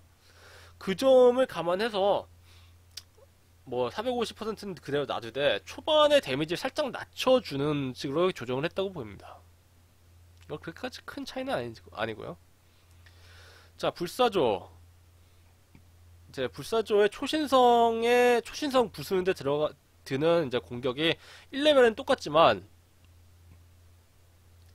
이제 1레벨에서 그 5레벨 5대에서 7대로 2대 늘어나고 10대로 3대 늘어나던 게 그냥 5, 8, 11로 이제 모든 레벨 3씩 늘어나는 걸로 전반적으로 버, buff가 되었죠. 매끄럽게 함과 동시에 buff. 그리고 이제 가끔씩 이제 이커스 다이브의 그 날아다니는 U자로 날아다니는 기술이 이제 평타 때문에 캔슬되는 거를 취소했습니다. 그거 아, 고쳤다고 해야죠. 고쳤습니다. 자 그리고 퍼지. 퍼지의 고기 갈고리 사거리가 700에서 1300 되는 게 1000, 1100, 1200, 1300으로 1레벨 때부터 상당히 긴 사거리. 원래 이게 700도 그렇게 짧은 건 아니었거든요. 그런데 이 1000, 1000으로 늘어나는 거 상당히 중요하다고 할 수 있겠습니다. 자 퍼그나 허그나가 이제 아군한테 무력화를 걸었을 시에 이동 속도 감소가 50%에서 25%로 다시 한번 줄어들어, 줄어들었고요. 그리고 이제 황천의 ward를 부수는데 필요한 공격이 3대에서 4대로 늘어났습니다. 그리고 칼날 갑옷을 쓰고 황천 갑옷 데미지 칼날 갑옷으로 황천 황천의 ward 데미지를 퍼그나한테 돌려주는 거는 이제 패치가 됐습니다. 옛날에 옛날 하늘분노 마법사가 퍼그나 황천의 ward에 대놓고 갑옷을 궁극 쓰면서 퍼그나 하던 영상이 기억나네요. 네, 그거 이제 안 됩니다. 퍼그나 ward로 인해 고통받는 일은 없었고 이제 쓰기 편해졌습니다. 만 이게 meta push나 한타에서 얼마나 도움이 될지는 글쎄요. 퍼그나 자체 그러니까 퍼그나가 push나 counter push, 퍼그, push나 황천의 ward 기여도가 되게 센 건 맞는데 문제는 퍼그나 자체가 좀 되게 애매하죠. 잘 죽기도 잘 죽고 lane에 좀 넣기도 애매합니다. carry lane을 주자니 약간 팀 전체 전략이 퍼그나 중심으로 돌아가야 되는 문제가 있고 mid를 가기엔 mid가 너무 각박한 세상이고 offlane은 뭐 mid도 마, mid에서 살아남기 힘들면은 offlane도 힘듭니다. 뭐 써봐야 알겠죠. 자 고통의 여왕. 고통의 여왕의 점멸 사거리가 700에서 1500, 1150이던 게 그냥 1300으로. 이러면은 이건 이미 점멸 단검보다 깁니다. 이거 상당히 긴 점멸 사거리고요. 이거 항마사의 점멸과는 이제 슬슬 틀려지고 있죠. 대신에 cooldown이 이제 1레벨 cooldown이 15초로 늘어났네요. 쿨, 이제 점멸 자체 효율은 좋아진 반면에 이제 약간 신중하게 사용을 해야 됩니다. 그리고 궁극기 초음파 비명이 초음파 비명이 이제는 순수 데미지에다가 이제 주문 면역을 뚫습니다. 한마디로 칠흑왕 지팡이고 뭐고 다 필요 없이 궁고 이게 고통의 여왕이 그동안 되게 buff가 필요하다고 하면서 많은 분들이 지적을 하셨던 게 궁극을 궁극이 너무 쓰레기다. 다른 건 모르겠는데 그러니까 막 다른 건 모르겠는데 초음파 비명은 너무 쓸모가 없다. 칠흑왕의 지팡이도 막히고 그렇다고 cooldown이 짧은 것도 아니고 cooldown은 건드리지 않고 대신에 데미지 타입을 건드리네요. 순수 데미지에 이래 허스카도 막 잡히죠. 허스카 데미지 허스카한테도 데미지가 이제 full로 박히는 흐름을 뭐 흐름인 후, 순수 데미지에 주문 면역도 뚫는 방향. 그리고 데미지 이 데미지 감소는 순수 데미지에 맞춰주기 위해서 그러니까 기본적으로 영웅들의 마법 데, 마법 방어력이 25%이기 때문에 350이면은 이제 그거 25%인 대략 한 뭐 90 정도가 감소가 되는데 그거를 감안하면은 좀 더 늘려준 거라고 할 수 있겠죠. 더군다나 순수 데미지는 더 이상 낮출 수 있는 것도 아니고요. 마법 방어력으로. 자, 290, 390, 490으로. 깔끔하게 그냥 500 해주지. 참. 뭐, 500 했, 그래도 이게 25% 마법 방어력, 마법 감소를 감안을 하면은 600이라고 했을 시에 뭐 125 감소가 되던 거를 뭐 490이면 뭐 감지덕지하죠. 자, 리키. 점멸 타격이 3, 4, 5에서 4, 5, 6 stack으로 한 번에 충전할 수 있는 충전 횟수가 하나씩 늘어났습니다. 대신에 충전 시간이 35초로 늘어났고요. 자, 그리고 추가 데미지 1레벨 땐 40이지만 70, 100으로 2레벨, 3레벨은 오히려 buff 똑같거나 buff 뭐 그냥 좀 더 매끈해지는 거라고 보시면 되겠고요. 자 루비 어, 음영광선의 만화, 소, 마, 만화 소비가 그냥 뭐 레벨당 조금씩 낮춰진 1레벨에 120으로 뭐 만렙 때는 똑같습니다만 어느 정도 만화 소비가 극심한 그러니까 루빅이 되게 초반에 만화 소비가 극심합니다. 초반에 2레벨 찍고 주문 두 개 쓰면은 만화가 270이 떨어지는데 이제 240 떨어지는 걸로 뭐 그래도 상당히 좀 힘든 영웅이긴 하네요. 루빅 자체가 되게 애매합니다. farming하기도 힘든 영웅이고 한타나 ganking을 이득을 봐야 되는데 그렇다고 뭐 이동 속도가 빠른 것도 아니고 자 그리고 아가님의 홀의 주문 스페 예, 주문 강탈 의 cooldown이 5초에서 2초로 줄어들어서 자 아가님의 홀을 갈 수 있다면 정말 좋은 영웅이겠죠. 점멸단검과 아가님의 홀을 뽑을 수 있는 영웅. 근데 문제는 루빅이 말씀드렸듯이 farming 능력이 너무나 떨어지기 때문에 뭐랄까 루빅이 돈을 번다는 건 한타에서 엄청나게 돈을 벌었다는 건데 한타에서 어시스트 골드로 점멸 단검이랑 아가님의 홀 뽑을 정도면 이미 경기 끝나 있습니다. 참 루빅이 운영이 까다롭죠. 운영 그러니까 사실 손빠르기도 손빠르기지만 상대방의 주문을 예측을 하고 그거를 뽑을 뽑을 준비 뽑기 준비를 해야 되니까 이게 보시 이제 그 인형 뽑기 하시는 분들은 아시겠지만 인형 뽑기는 무슨 기술이 중요한 게 아니라 전반적으로 어디 어디 있는 인형을 어떻게 뽑을 수 있는지 보는 눈이 중요한 겁니다. 루빅은 바로 그거고요. 그렇기 때문에 아이템 정말 갈 수 있다면은 루빅 잘하시는 분들에게는 버프가 되겠네요. 루빅은 어쨌든 간 되게 쓰기가 힘든 영웅이죠. 레이센 선수가 루빅을 잘하죠. 루빅 보고 싶네요. 네, 여하튼간 네, 넘어가도록 하겠습니다. 그림자 마기. 자, 그림자 휩쓸기의 데미지가 늘어났고요. 상당히 크게 늘어났습니다. 이거 초반, 그러니까 그림자 마기가 파밍을 해야 되는 딜레마가 있음과 동시에 초중반에 되게 강력한 영웅이라는 게 그래서 메칸즘 이제 그림자 마귀도 나오는 거고요. 그렇기 때문에 초반 데미지, 초반 육행 데미지 상당히 늘려줬습니다. 뭐 그리고 이제 non target으로 맞추는 거기 때문에 이거 지금 triple raze를 맞추면은 거의 무조건 죽는 각이 나오네요. 자, 그리고 침묵술사.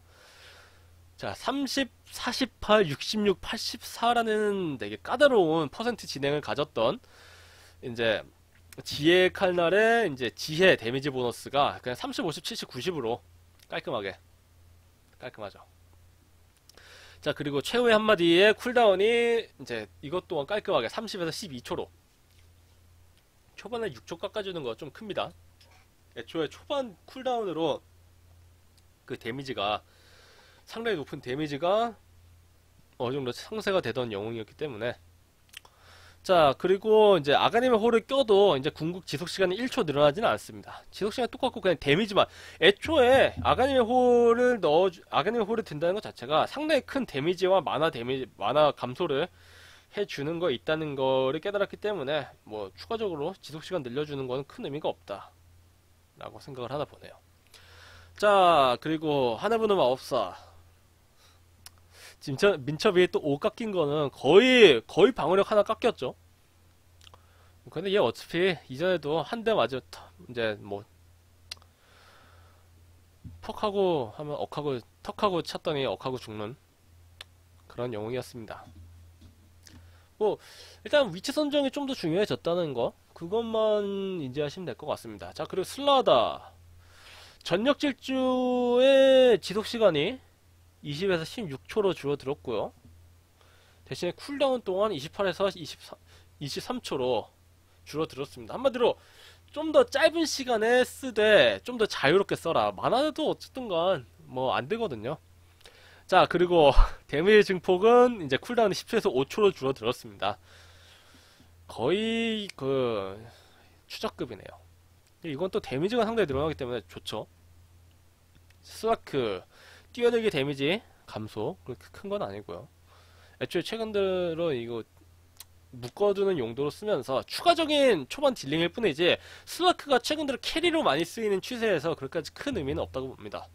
자 저격수가 진짜 큰데요. 아, 유산탄이 더 이상 건물에 데미지를 주지 않습니다. 이거는 좀 큽니다. 애초에 건물의 데미지 누적시키면서 push에도 어느 정도 역할을 해줄 수 있었던 저격수인데 그게 지금 아예 상쇄가 되었고요. 아예 상쇄가 되는 거는 좀 어, 큰 nerf고요. 대신에 40초 충전을 가진 3개까지 충전이 가능한 스킬입니다. 한마디로 3발까지 장전을 해놓고 쏘는 거죠. 대신에 이제 뭐 똑같은데 3번 박아놓는다고 stack이 막 더 추가적으로 슬로우가 걸리진 않습니다. 자, 대신 만화 소비도 50으로 줄어들어서 120에서 50으로 줄어들었기 때문에 한 번에 3개 써도 뭐 기존에 한 번 쓰는 것보다 30 더 늘어난 거고요. 그리고 지속 시간도 10초 늘어난 건데 이거는 한타 때 상대방의 위치를 되게 제한을 해주면서 싸우겠다는 거죠. 좀 더 자기 자신의 위치 선정을 깔끔하게 해주면서 상대방의 위치 선정을 막아주는 식의 흐름으로 이제 영웅의 컨셉이 잡혀가는데 음, 음 이게 글쎄요 일단 저격수가 타워푸시에 가지고 있어서 이점이 사라지는 건 맞습니다만 좀 더 극한의 위치 선정을 통한 그 한타의 지배자 한타를 지배하는 캐리를 보고 싶어하는 그림인 것 같네요. 점 일단은 그러니까 얼음개구리가 그 영웅들이 가지고 있는 특유의 그런 고유성을 극한까지 밀어붙인다는 느낌입니다. 이건 되게 큰 너프거든요. 건물에 데미지가 들어가지 않는다는 거. 저격수는 이번에 정말 그러니까 저격수가 그동안 뭐랄까 약간 스벤처럼 정말 입문하기도 쉽지만 정말 잘 쓰기도 매우 어려운 되게 못하고 잘하고의 차이가 되게 극명한 영웅이었다면은 이거는 그게 더 심해진 거죠. 근데 이게 어느 정도 심해진 거냐면은 이제는 입문하기도 그렇게 쉽지가 않습니다. 옛날에는 그냥 뭐 정말 뭐 계속 죽는 저격수라면은 그냥 Q 건물에만 써주세요라고 하, 는 거였다면은 이제 Q 건물에도 안 들어가고 그렇기 때문에 그 뭐랄까 그 숙련도의 그 바닥이라고 할 수 있죠. 숙련도의 맨 밑바닥이 좀 더 늘어났고 입문 입문 난이도가 늘어났고 대신에 그 숙련 마스터해야 되는 그 최대 숙련도는 오히려 더 늘어났습니다. 음, 뭐 대신 중반쯤에서 좀 편할 수도 있겠네요. 애초에 유산탄 한 번에 3개까지 쓸 수 있기 때문에 한타에서 정말 자신이 원하는 그림을 만들기가 편해졌습니다. 그럼 뭐에 점멸단검에 그냥 녹아버리는 걸. 이라고 하신다면 제가 할 말이 없고요. 자, 아, 네, 영혼 파괴자. 영혼 파괴자 그 저번 패치로 인해서 그 이속 이동 속도를 올려주는 aura가 쿨 그 active 추가 이제 두 배로 이동 속 짧은 시간 동안 두 배로 이동 속도를 늘은 늘려준 대신에 그 cooldown 동안은 그, 그 보너스 이동 속도가 반씩 그냥 반감되는 효과가 있었는데 그게 20초에서 16초로 줄어들면서 buff죠. 자, 폭풍령. 아, 결국에 다이어트의 효과가 이제 내부 비만까지 이제 복부 비만까지 전부 다 해결해 줬네요. 회전 속도가 0.6초에서 0.8초로 정말 잘생겼습니다. 잘생긴 친구는 누구지? 자, 스벤. 전장의 함성의 지속시간 7초에서 8초로 늘어났고, 아가님의 홀을 갔을 시, 이제, 오라로 주어지는 보너스 데미지가 40, 60, 80에서 50, 75, 100으로 늘어났습니다. 아가님의 홀을 가신다면요. 테키, 캡틴 모드에 추가되었습니다.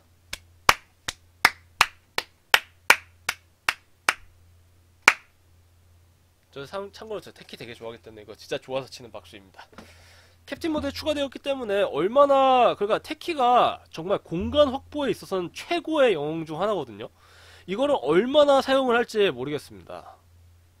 뭐랄까 테키가 시야 확보와 함께 정말 방, 기지 방어는 기지 방어인 거로 아 그리고 상대방의 이제 동선을 제한하는 이거 현실 보석이 있어도 아가님의 홀 나온 테키 막기 힘들거든요. 자 이게 얼마나 크게 작용을 할지는 일단은 프로들이 좀 더 연구. 특히나 테키 자체가 워낙에 뭐랄까 악명이 높은 악명도 높기 때문에 연구도 그렇게 잘 안 되던 영웅이라고 할 수 있겠습니다. 와가마마 최근 들어 컴플렉시티언 하여간 다시 한번 그 프로에 복귀한 와가마마 선수 정도가 상당히 숙련도 있는 테키를 보여줄 것 같은데 야, 기술단이죠 한걸 네, 기술단의 활약이 기대됩니다. 그리고 이제 가장 중요한 buff 지뢰의 데미지가 늘어났습니다. 300 데미지로 늘어난 이게 이게 얼마나 중요한 거냐면은 뭐 이거 만렙 때 데미지 중요하지만 300이면은 그러니까 테키가 그 대략 한 마이 지뢰 4개로 죽는 영웅이 한 10대 명 있었고 5개로 죽는 영웅이 2, 3명 있었나? 당연히 그렇고 일단 3개로 죽는 영웅들이 많은데 이게 웬만한 영웅들 이제 4개만 쌓아둬도 아니면 3개만 쌓아둬도 죽는다는 겁니다. 그런데 이게 저번 패치에 이뤄진 그 cooldown 감소와 함께 초반에 테키가 몰래 치- 순간에도 주문서 가가지고 마이, 지뢰 박아주는 거 4개만 박으면 웬만한 영웅들이 죽기 때문에 어디에 박았는지 절대 알 수가 없습니다. 초반부터 다 상당히 스트레스 받는 거거든요. 테키 상대로 플레이한다는 거. 기술자는 상대로 승- 플레이를 한다는 거는. 음. 어, 이거는 정말 뭐 두 개까지 박, 뭐 초반에 약간 경험치를 희생한다면 두 개, 두 개까지 박아줄 수 있다는 거겠고요. 그 정도, 그렇게까지는 필요가 없습니다만. 거의, 선취점 거의 확실해진다. 라는 게 되겠습니다. 자, 테러블레이드. 환, 아, 그, slow의 시전 속도가 좀 더 빨라졌고요. 그리고, 분리의 최소 체력이 전 레벨 20% 고정, 고정으로 살짝 nerf라고 보입니다만 애초에 테러블레이드는 이거 생존기로 쓰는 거기 때문에 음, 그렇게까지 뭐 중요하게 보이진 않네요. 파도 사냥꾼 자 기본 이동 속도가 5 감소되었고요. 그리고 궁극의 데미지가 줄어들었는데 뭐 어째 궁극 데미지가 중요한 게 아니라 궁극 스턴이 중요한 거죠. 자 땜장이 열추적 미사일 데미지 상승 뭐25 상승이고요. 타이니 자 던지기의 시간 던지기 그 한마디로 그붕 떠 있는 시간이 1초에서 1.3초로 아까 위에서의 어둠 현자와 비슷하게 뭐 stun 시간이 0.3초 늘어난 거라고 보시면 되겠고요. 뭐 중간에 데미지를 이전에 한 번 넣었다면 이제 두 방까지 박아 넣을 수 있는 뭐 체공 시간이라고도 할 수 있겠습니다. 자 그리고 이게 큽니다. 궁극을 사용했을 시에 주어지는 추가 이동 속도가 20에서 1레벨 기준 40 2배로 늘었습니다. 이게 만렙은 똑같은데 40이 늘어났다는 거는 초반 6레벨 이후에 이걸로 좀 이득을 볼 수 있는 시점이 나온다는 거죠. 6레벨 그럼 한마디로 그니까 초반에 타이니가 강력한 시점은 4레벨 스킬 두 개가 2레벨씩 찍히는 시점에서 상당히 높은 데미지 효율이 나오고요. 그 6레벨 그 던지기는 찍지 않았지만 아 던지기 던지기 3레벨 궁극 찍어주고 그러니까 그 산사태 2레벨 던지기 3레벨 궁극 1레벨 찍어줘가지고 던지기 데미지 극대한 상황에서 좀 더 상대한테 빠르게 붙어가지고 이거 콤보 넣어줄 수 있습니다. 그 이동 속도가 조금 모자라가지고 콤보를 못 넣고 산사태로 멈추게 한 다음에 던지기 쓰는 콤보가 있었거든요. 그런 거를 어느 정도 방지하는 게 될 거라고 생각이 됩니다. 자 나무정령 수호자 제가 최근에 되게 좋아하는 영웅인데요. 궁극기 그러니까 이제 궁극기 아가님 홀을 가서 나무에다가 이제 눈을 달아주면은 그 주변으로 데미지가 주어지는 궁극기. 과대성장 영웅 주변 과대성장은 데미지가 없지만 그 눈을 붙여둔 나무 주변으로 주어지는 과대성장 데미지가 있는데 이게 1초당 175로 상당히 늘어났죠. 거의 120, 160 정도 늘어났습니다. 전체적으로 보자면은 그리고 나무에다 붙이는 cooldown이 25초라서 부담이 없어졌죠. 이게 아가님 홀로 하다 보면은 그 1분에 가까운 cooldown이 너무나도 압박인데 25초면은 상당히 좋습니다. 맵 전체를 도배하는 날이 멀지 않았고요. 전 저 개인적으로 이 패치 되게 마음에 드네요. 자, 트롤 전쟁군주 버그가 그 뭐지 열정 열정의 stack이 하나 더 늦게 들어가는 게 그러니까 하나 하나치가 카운트가 안 되고 느리던 게 그냥 고쳐졌다는 것 같네요. 자, 얼음 폭군. 얼음 파편의 속도가 늘어났고요. 저거는 좀 중요해졌습니다. 애초에 얼음 파편이 이제는 원하는 데까지 날아간 다음에 벽이 생기기 때문에 이건 빠르게 날아가줘야 되는 부분이고 이제 그 벽도 5초에서 7초로 상당히 오랫동안 지속되게 됐습니다. 그리고 궁극기가 이제는 그냥 적을 적 targeting으로 바뀌었고 auto casting 가능하게 됐네요. cooldown 또한 감소가 되었고요. 뭐 전반적으로 궁극 쓰기 스킬들을 쓰기 편하게 해주고 뭐 수치상의 변화는 그렇게 크게 없습니다. 그 언다잉 언다잉 또한 제가 제가 상당히 좀 음, 눈여겨보고 있는 건데요. 이게 영혼 찍기의 최대 유닛이 50, 15, 20에서 10, 12, 14, 16으로 만렙 때는 좀 낮아졌지만 초반부터 10이라는 건 상당히 큽니다. 그리고 유닛당 25에서 18, 22, 26, 30, 30이라는 거는 최대 16, 그니까 16마리가 다 되었을 때 이거는 이제 그 묘비 깔면은 바로 나오는 숫자죠. 이게 지금 480 데미지입니다. 그리고 제가 이거 언다잉으로 그러니까 제가 언다잉에 대해서 서포터 언다잉으로 많이 쓰이지만 언다잉에 대해서 여러가 여러, 좀 이제 많은 분들이 잘 모르시는 것 중 하나가 offlane으로 경험치를 가져가는 언다잉이 최근 연구를 통해서 어떤 정도 대 효율적이라는 것 효율적이라는 것도 나왔고 애초에 언다잉이 지금 가장 중요한 거는 일단은 묘 그러니까 묘비 그러니까 초반에 그 부패 1레벨을 찍어두고 1레벨 고정을 한 다음에 묘비 만렙을 찍어주시되 두 번째 마스터하는 거 궁극해서 찍어주시면서 두 번째 마스터하는 스킬은 영혼 찍기가 돼야 됩니다. 영혼 찍기의 그 순간적인 heal이나 dealing이 상당히 크거든요. 그게 지금 만렙을 찍으라고 더 붙이고 있습니다. 이게 1레벨 효율도 뭐 상당히 좋아졌지만 이 3렙 그 4레벨 찍었을 때 효율이 지금 엄청나거든요. 그거를 이제 좀 눈여겨 보셔야 될 거고요. 그리고 이제 뭐 묘비 방어력도 1 늘어났고 궁극기를 썼을 때 그 둔화가 15%에서 20% 최대 둔화가 늘어난 것도 뭐 저거는 이제 약간 매끄럽게 흘러가는 거. 그리고 이제 영혼 찍기가 있어야지 묘비를 후반에 살려둘 수가 있습니다. 아니면 죽어요 순식간에. 자 그리고 복수혼령. 복수혼령이 최근 들어 프로 경기에서 많이 쓰이던 저 공포의 파동이 cooldown 5초 늘어났고요. 어, 그냥 뭐 쓸만한 nerf라고 보입니다. 그리고 비사지 그 무덤장이의 망토 아, 무덤 묘, 묘지기 망토라고 해야 되나요? 한글 명칭이 기억이 안 나네요. 자, cooldown이 12, 18, 6초에서 6초로 줄어들었고요. 그 회복 시간입니다. 영웅한테 한 대씩 맞을 때마다 하나씩 한 꺼풀씩 벗겨지는데 그거를 다시 회복하기 위해서 필요한 시간이 이제 이전에는 1레벨 때 12초였다면 이제는 그냥 전 레벨 6초로 회복이 되죠. 자, 흑마법사 고무줄 이 뭐라고 해야 되죠? 하여간 죽음의 고리라고 해야 되나? 죽음의 고리의 시전 시, 거리가 100 늘어났고 이제 그 서로 연결되기 위해 찾는 범위 한마디로 유닛 A에서 B까지 이어지기 위해서 시전 시점 때 서로 붙어 되는 범 시, 거리 또한 늘어났기 때문에 좀 더 쓰기 편해지긴 마련입니다만 글쎄요 저는 흑모법사 할때 그냥 그 아, 그 느리게 범위 slow를 일단 우선적으로 찍어주는 걸 선호하기 때문에 뭐 그래도 이것 또한 되게 좋은 스킬이죠. 애초에 힐링 그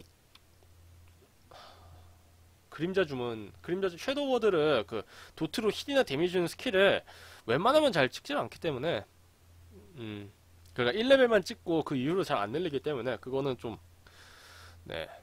뭐 그냥 쓰기 편해졌다고 보시면 되겠습니다. 자, 바람 수잘자 음, 네, 강화 사격의 사거리가 저격이 됐네요. 자, 이건 이제 강화 저격이라고 부르시면 되겠습니다. 2600으로 사거리가 늘어났고요.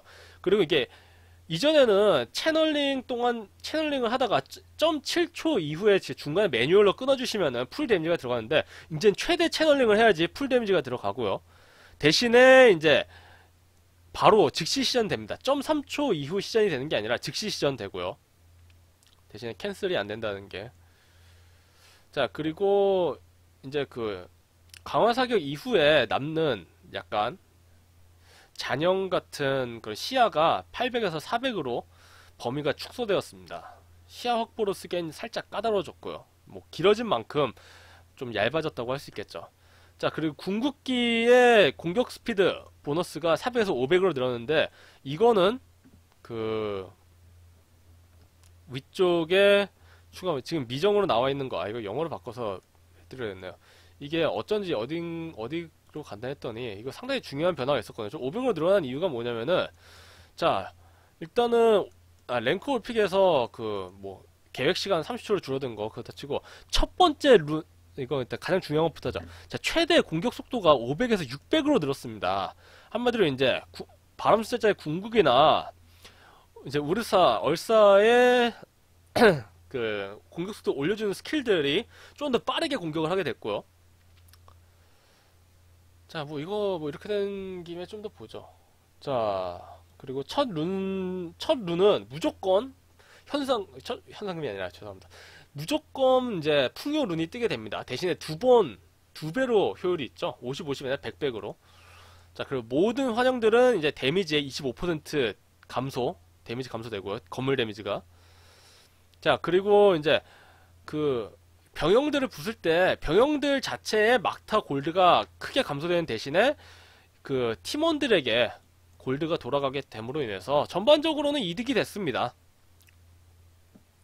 그리고 이제 로션 위쪽에 있던 되게 높은 그 꼭대기에는 이제 유닛이 들어갈 수 있게 되었고 이건 이제 예를 들어서 맹독사의 역병마드라든지 그런 게 들어갈 수가 있고 그 Dire Ancient 그러니까 그 그거는 여기서 보여드리도록 하죠. 그러니까 어디를 말하는 거냐면은 그 그러니까 이쪽에 잘 안 보이던 warding 지역이 보인다라는 거는 좀 빨리 좀 로딩이 됐으면 좋겠네요. 예, 로딩이 좀 느리죠. 그 중간에 그 와딩을 해보신 분은 아시겠지만 와딩이 되게 힘들던 부분이 있었습니다. 그 부분이 지금 고쳐진 거라고 보시면 되겠고요. 강을 넘어 적진영으로 진입할 때는 항상 조심하세요. 자유 선택. 어디를 모습을 불러다오. 말하는 거냐면은 아, cheat가 안 켜져 있네. 자, 전투를 준비하십시오. 이쪽에 좀 더 이쪽에 warding 박기 상당히 까다로운데요. 거의 이쪽 급으로 까다롭죠. 네, 여기 ward 박는 게 좀 더 편해졌다고 생각이 됩니다. 거기 말고는 딱히 ward 박는 지점이 없죠. 아니면 뭐 이쪽 말하는 걸 수도 있겠고요. 솔직히 저는 여기밖에 생각이 안 나네요. 자, 그리고 이것 좀 크네요. 그 강화, 고대 강화석 골렘의 체력이 2000에서 1700으로 줄어든 대신에 체력을 15% 늘려주는 오라가 있습니다. 이거 체니 먹고 가져가면 정말 막 4000 체력 찍은 힘영웅이 거기 15% 받아가지고 막, 네, 끔찍하죠? 5000 찍을 수 있습니다. 6000도 꿈이 아니죠. 자, 음, 뭐 그거 외에는 뭐 제가 딱히 알려줄 수 있는 게 없고 자 아이템만 보고 마무리 짓도록 하겠습니다. 전반적으로 일단 지금까지 패치 내용을 보자면은 뭐 meta 자체를 뭐 급격하게 변화시키기보다는 기존에 있던 영웅들을 좀 더 깔끔하게 바꿔주는 흐름으로 가고 있고요. 자 어, 네. 짐꾼 가격이 125원으로 줄어들었습니다. 이런 support에게 상당히 유용한 거고요. 근데 뭐 이래도 한 30원 남는데 뭐 상당히 중요하다고 할 수 있는 뭐 깎아주면 좋은 거죠. 그리고 모르디기안의 완갑 또한 가격 500원 할인했고요. 그리고 점멸단검 만약에 데미지 공격은 받았으나 데미지를 받지 않았으면은 3초 cool 안 돌게 됩니다. 그, 그 예를 들어서 이제 뭐 어, 암살기사 암살기사가 이제 굴절의 보호막을 키고 그거 데미지 공격을 받았으면은 데미지를 받지 않았기 때문에 점멸단검 여전히 사용 가능합니다. 이거 원래 그랬던 것 같은데 이거 아무래도 모든 스킬에 적용이 되는 것 같죠. 자 그리고 물병 이제 물병은 이제 얼마나 차있냐에 상관없이 짐꾼을 느리게 합니다.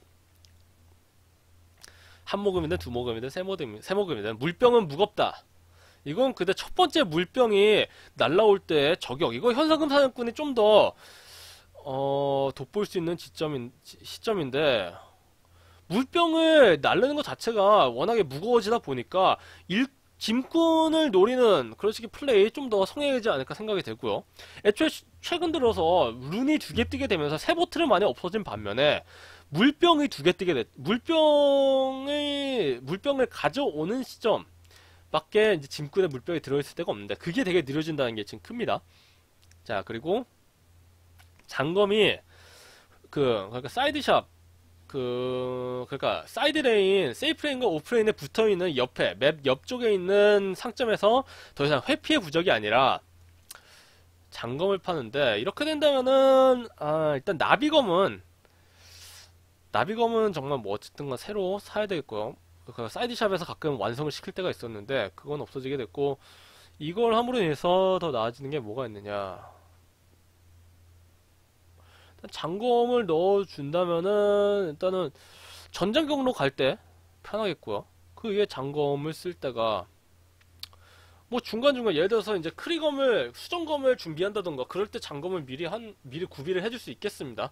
데미지를 올려주는 아이템이 하나 더 추가된다는 거. 그러니까 거기 이미 공 갈 그 뭐지 갈퀴는 있습니다만 어, 장검까지 추가된다는 건 데미지 상당히 장검 아 그러니까 그 side shop으로만으로도 데미지 어느 정도 늘려줄 수 있다는 게 되겠고요. 자 그리고 머리 장식. 머리 장식의 가격이 165로 줄어들었습니다만 그만큼 이제 공허 부적이라든지 아니면은 예, 고- 망령의 고리라든지 아니면 전투 팔찌의 가격이 20원 늘어났습니다. 그리고 맑은 물약은 다, 다시 한번 만화 올려주는 양이 15 늘어났고요. 상당히 좋습니다. 그 이게 15로 늘어난 게 그 전체적인 만화 회복량뿐만이 아니라 그 지속 시간 동안 만화가 늘어나는 그 지속 시간 동안 초당 만화 재생 동안 늘어나는 효과라고 할 수 있겠고요. 그리고 피피스오 뭐 액티브의 지속 시간 10초 늘어나고 분산의 검은 더 이상 이거 큽니다. 분산의 검은 더 이상 고유 공격 변형치, 변형치가 아니라서 다른 거와 스택이 되고요. 그리고 대신에 예를 들어 항마사가 분산의 검을 가도 만화 태우는 만화, 만화 태우는 기술들은 겹치지 않습니다. 자, 그리고 인네이북 차지가 5개에서 6개로 늘어났고요. 뭐 애초에 뭐 리필은 하지 않지만 있으면 좋은 차지이기 때문에 저거는 뭐 나쁘지 않다고 생각이 들고요. 자, 유래 신성한 홀 역시나 가격에서 너프를 받았네요. 이번 메타는 정말 전부 다 유래 신성한 홀을 갈 정도로 정말 걔는 없으니 걔는 그니까 라이카는 안 가니까 모르겠는데 정말 소 고대 티탄 같은 개나 소나 다 가는 유래 신성 홀이었는데 네, 150원 너프. 자 치유 물력은 5원 깎아줬습니다. 좀 뭐랄까 시장에서 깎아주는 것 같네요. 자 5원만 깎아주세요.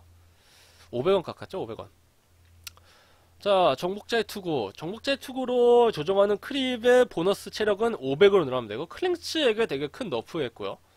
클링츠가 도미네이트 끼고, 크립을 조종하고 그걸 먹으면은 그 체력이 고스란히, 네, 끔찍하네요. 자, 마법 지팡이. 자, 최대 충전 횟수가 15에서 17로 늘어납니다. 뭐, 30 정도 차이기 때문에, 좀 더, 뭐랄까, 아슬아슬한 순간에서 큰 차이를 만들 수 있을 것 같고요. 그 두 개 정도 그렇게까지 뭐 큰 차이는 아니지만 애초에 지팡이 자체가 파워 인플레를 지금 따라가는 거라고도 할 수 있겠고요. 자 그리고 용기의 메달이 가격이 125원 비싸진 대신에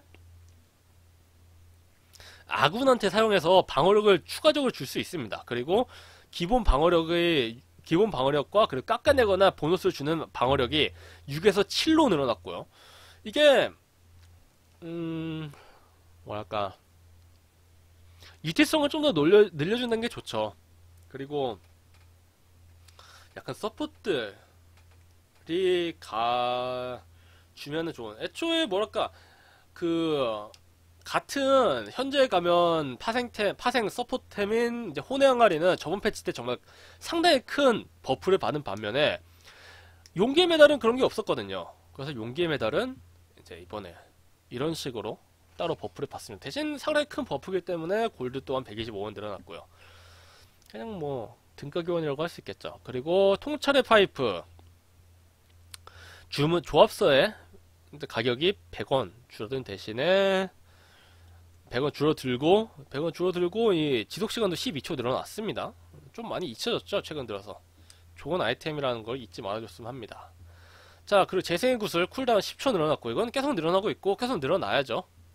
워낙에 좋고 애초에 이건 cooldown이 길다고 해도 한 방에 모든 걸 쏟아 붓는 아이템이기 때문에 뭐 그렇게까지 큰 건 아닙니다. 자 그리고 어 그리고 이거 어둠의 부적 그림자 부적 아 그림자 부적의 가격이 200원 줄어들었는데 그 말은 이제 어둠의 검 가격도 줄어든 거고요.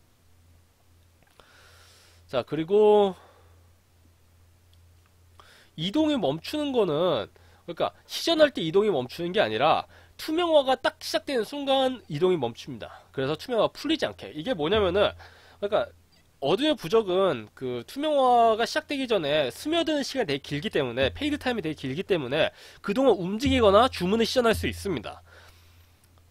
대신에 이제 그 그러니까 뭐 channeling 스킬은 멈추지 않는 대신에 움직임은 이제 투명화가 시작되는 순간 멈춰서 그 풀리는 거를 최고 이게 멈추지 않고요. 저기 근데 움직임이 그냥 정말 영웅의 이동만 말하는 거냐 아니면 모든 행동을 말하는 거에 따라서 큰 nerf일 수도 있는데 제가 보기엔 그냥 이동만 멈추는 것 같습니다. 자, 뭐 그 외에는 alt click을 모든 걸 할 수 있죠. Alt clicking everything. 뭐 이거 같은 경우는 그냥 인터페이스 여러 가지 alt click이 있는데 중요한 거는 뭐 이제 이제 buff, debuff 그런 것도 전부 다 클릭을 할 수가 있고 passive도 클릭을 할 수가 있고 active가 없는 아이템도 클릭을 할 수가 있고요. 그리고 글리프에 control alt click을 해서 아직은 쓰지 말자라고 할 수 있습니다. 뭐 그거 외에는 버그, 그가 그 안개 너머로 안개 안개에 가려진 스킬들의 효과가 보이던 것도 다 버그 fix 되었고요. 뭐 그거 외에는 그렇네요. 뭐 전반적으로는 뭐랄까 이번 메타를 좀 더 다듬는다고 해야 될까요? 약간 소외된 영웅들을 살려주고 매끄럽게 해주는 동시에 너무 센 영웅들은 좀 직접적은 아니지만 간접적으로 깎아주는 전형적인 얼음개구리식 밸런스 패치라고 보입니다. 대격변이 아닌 밸런스 패치죠. 자, 그러면은 이상으로 alt click 업데이트 에 뭐랄까 예, 분석을 마치도록 하겠고요. 그리고 이제 앞으로 트위치 통해서 방송을 자주 하게 되니까 오늘도 이거 끝나고 바로 방송을 하게 되죠. 대략 한 시간이 음, 한 시간인가 20분인가 남았네요. 자, 네 일단은 네 분석은 여기까지 하도록 하겠습니다. 지금까지 3코어였습니다.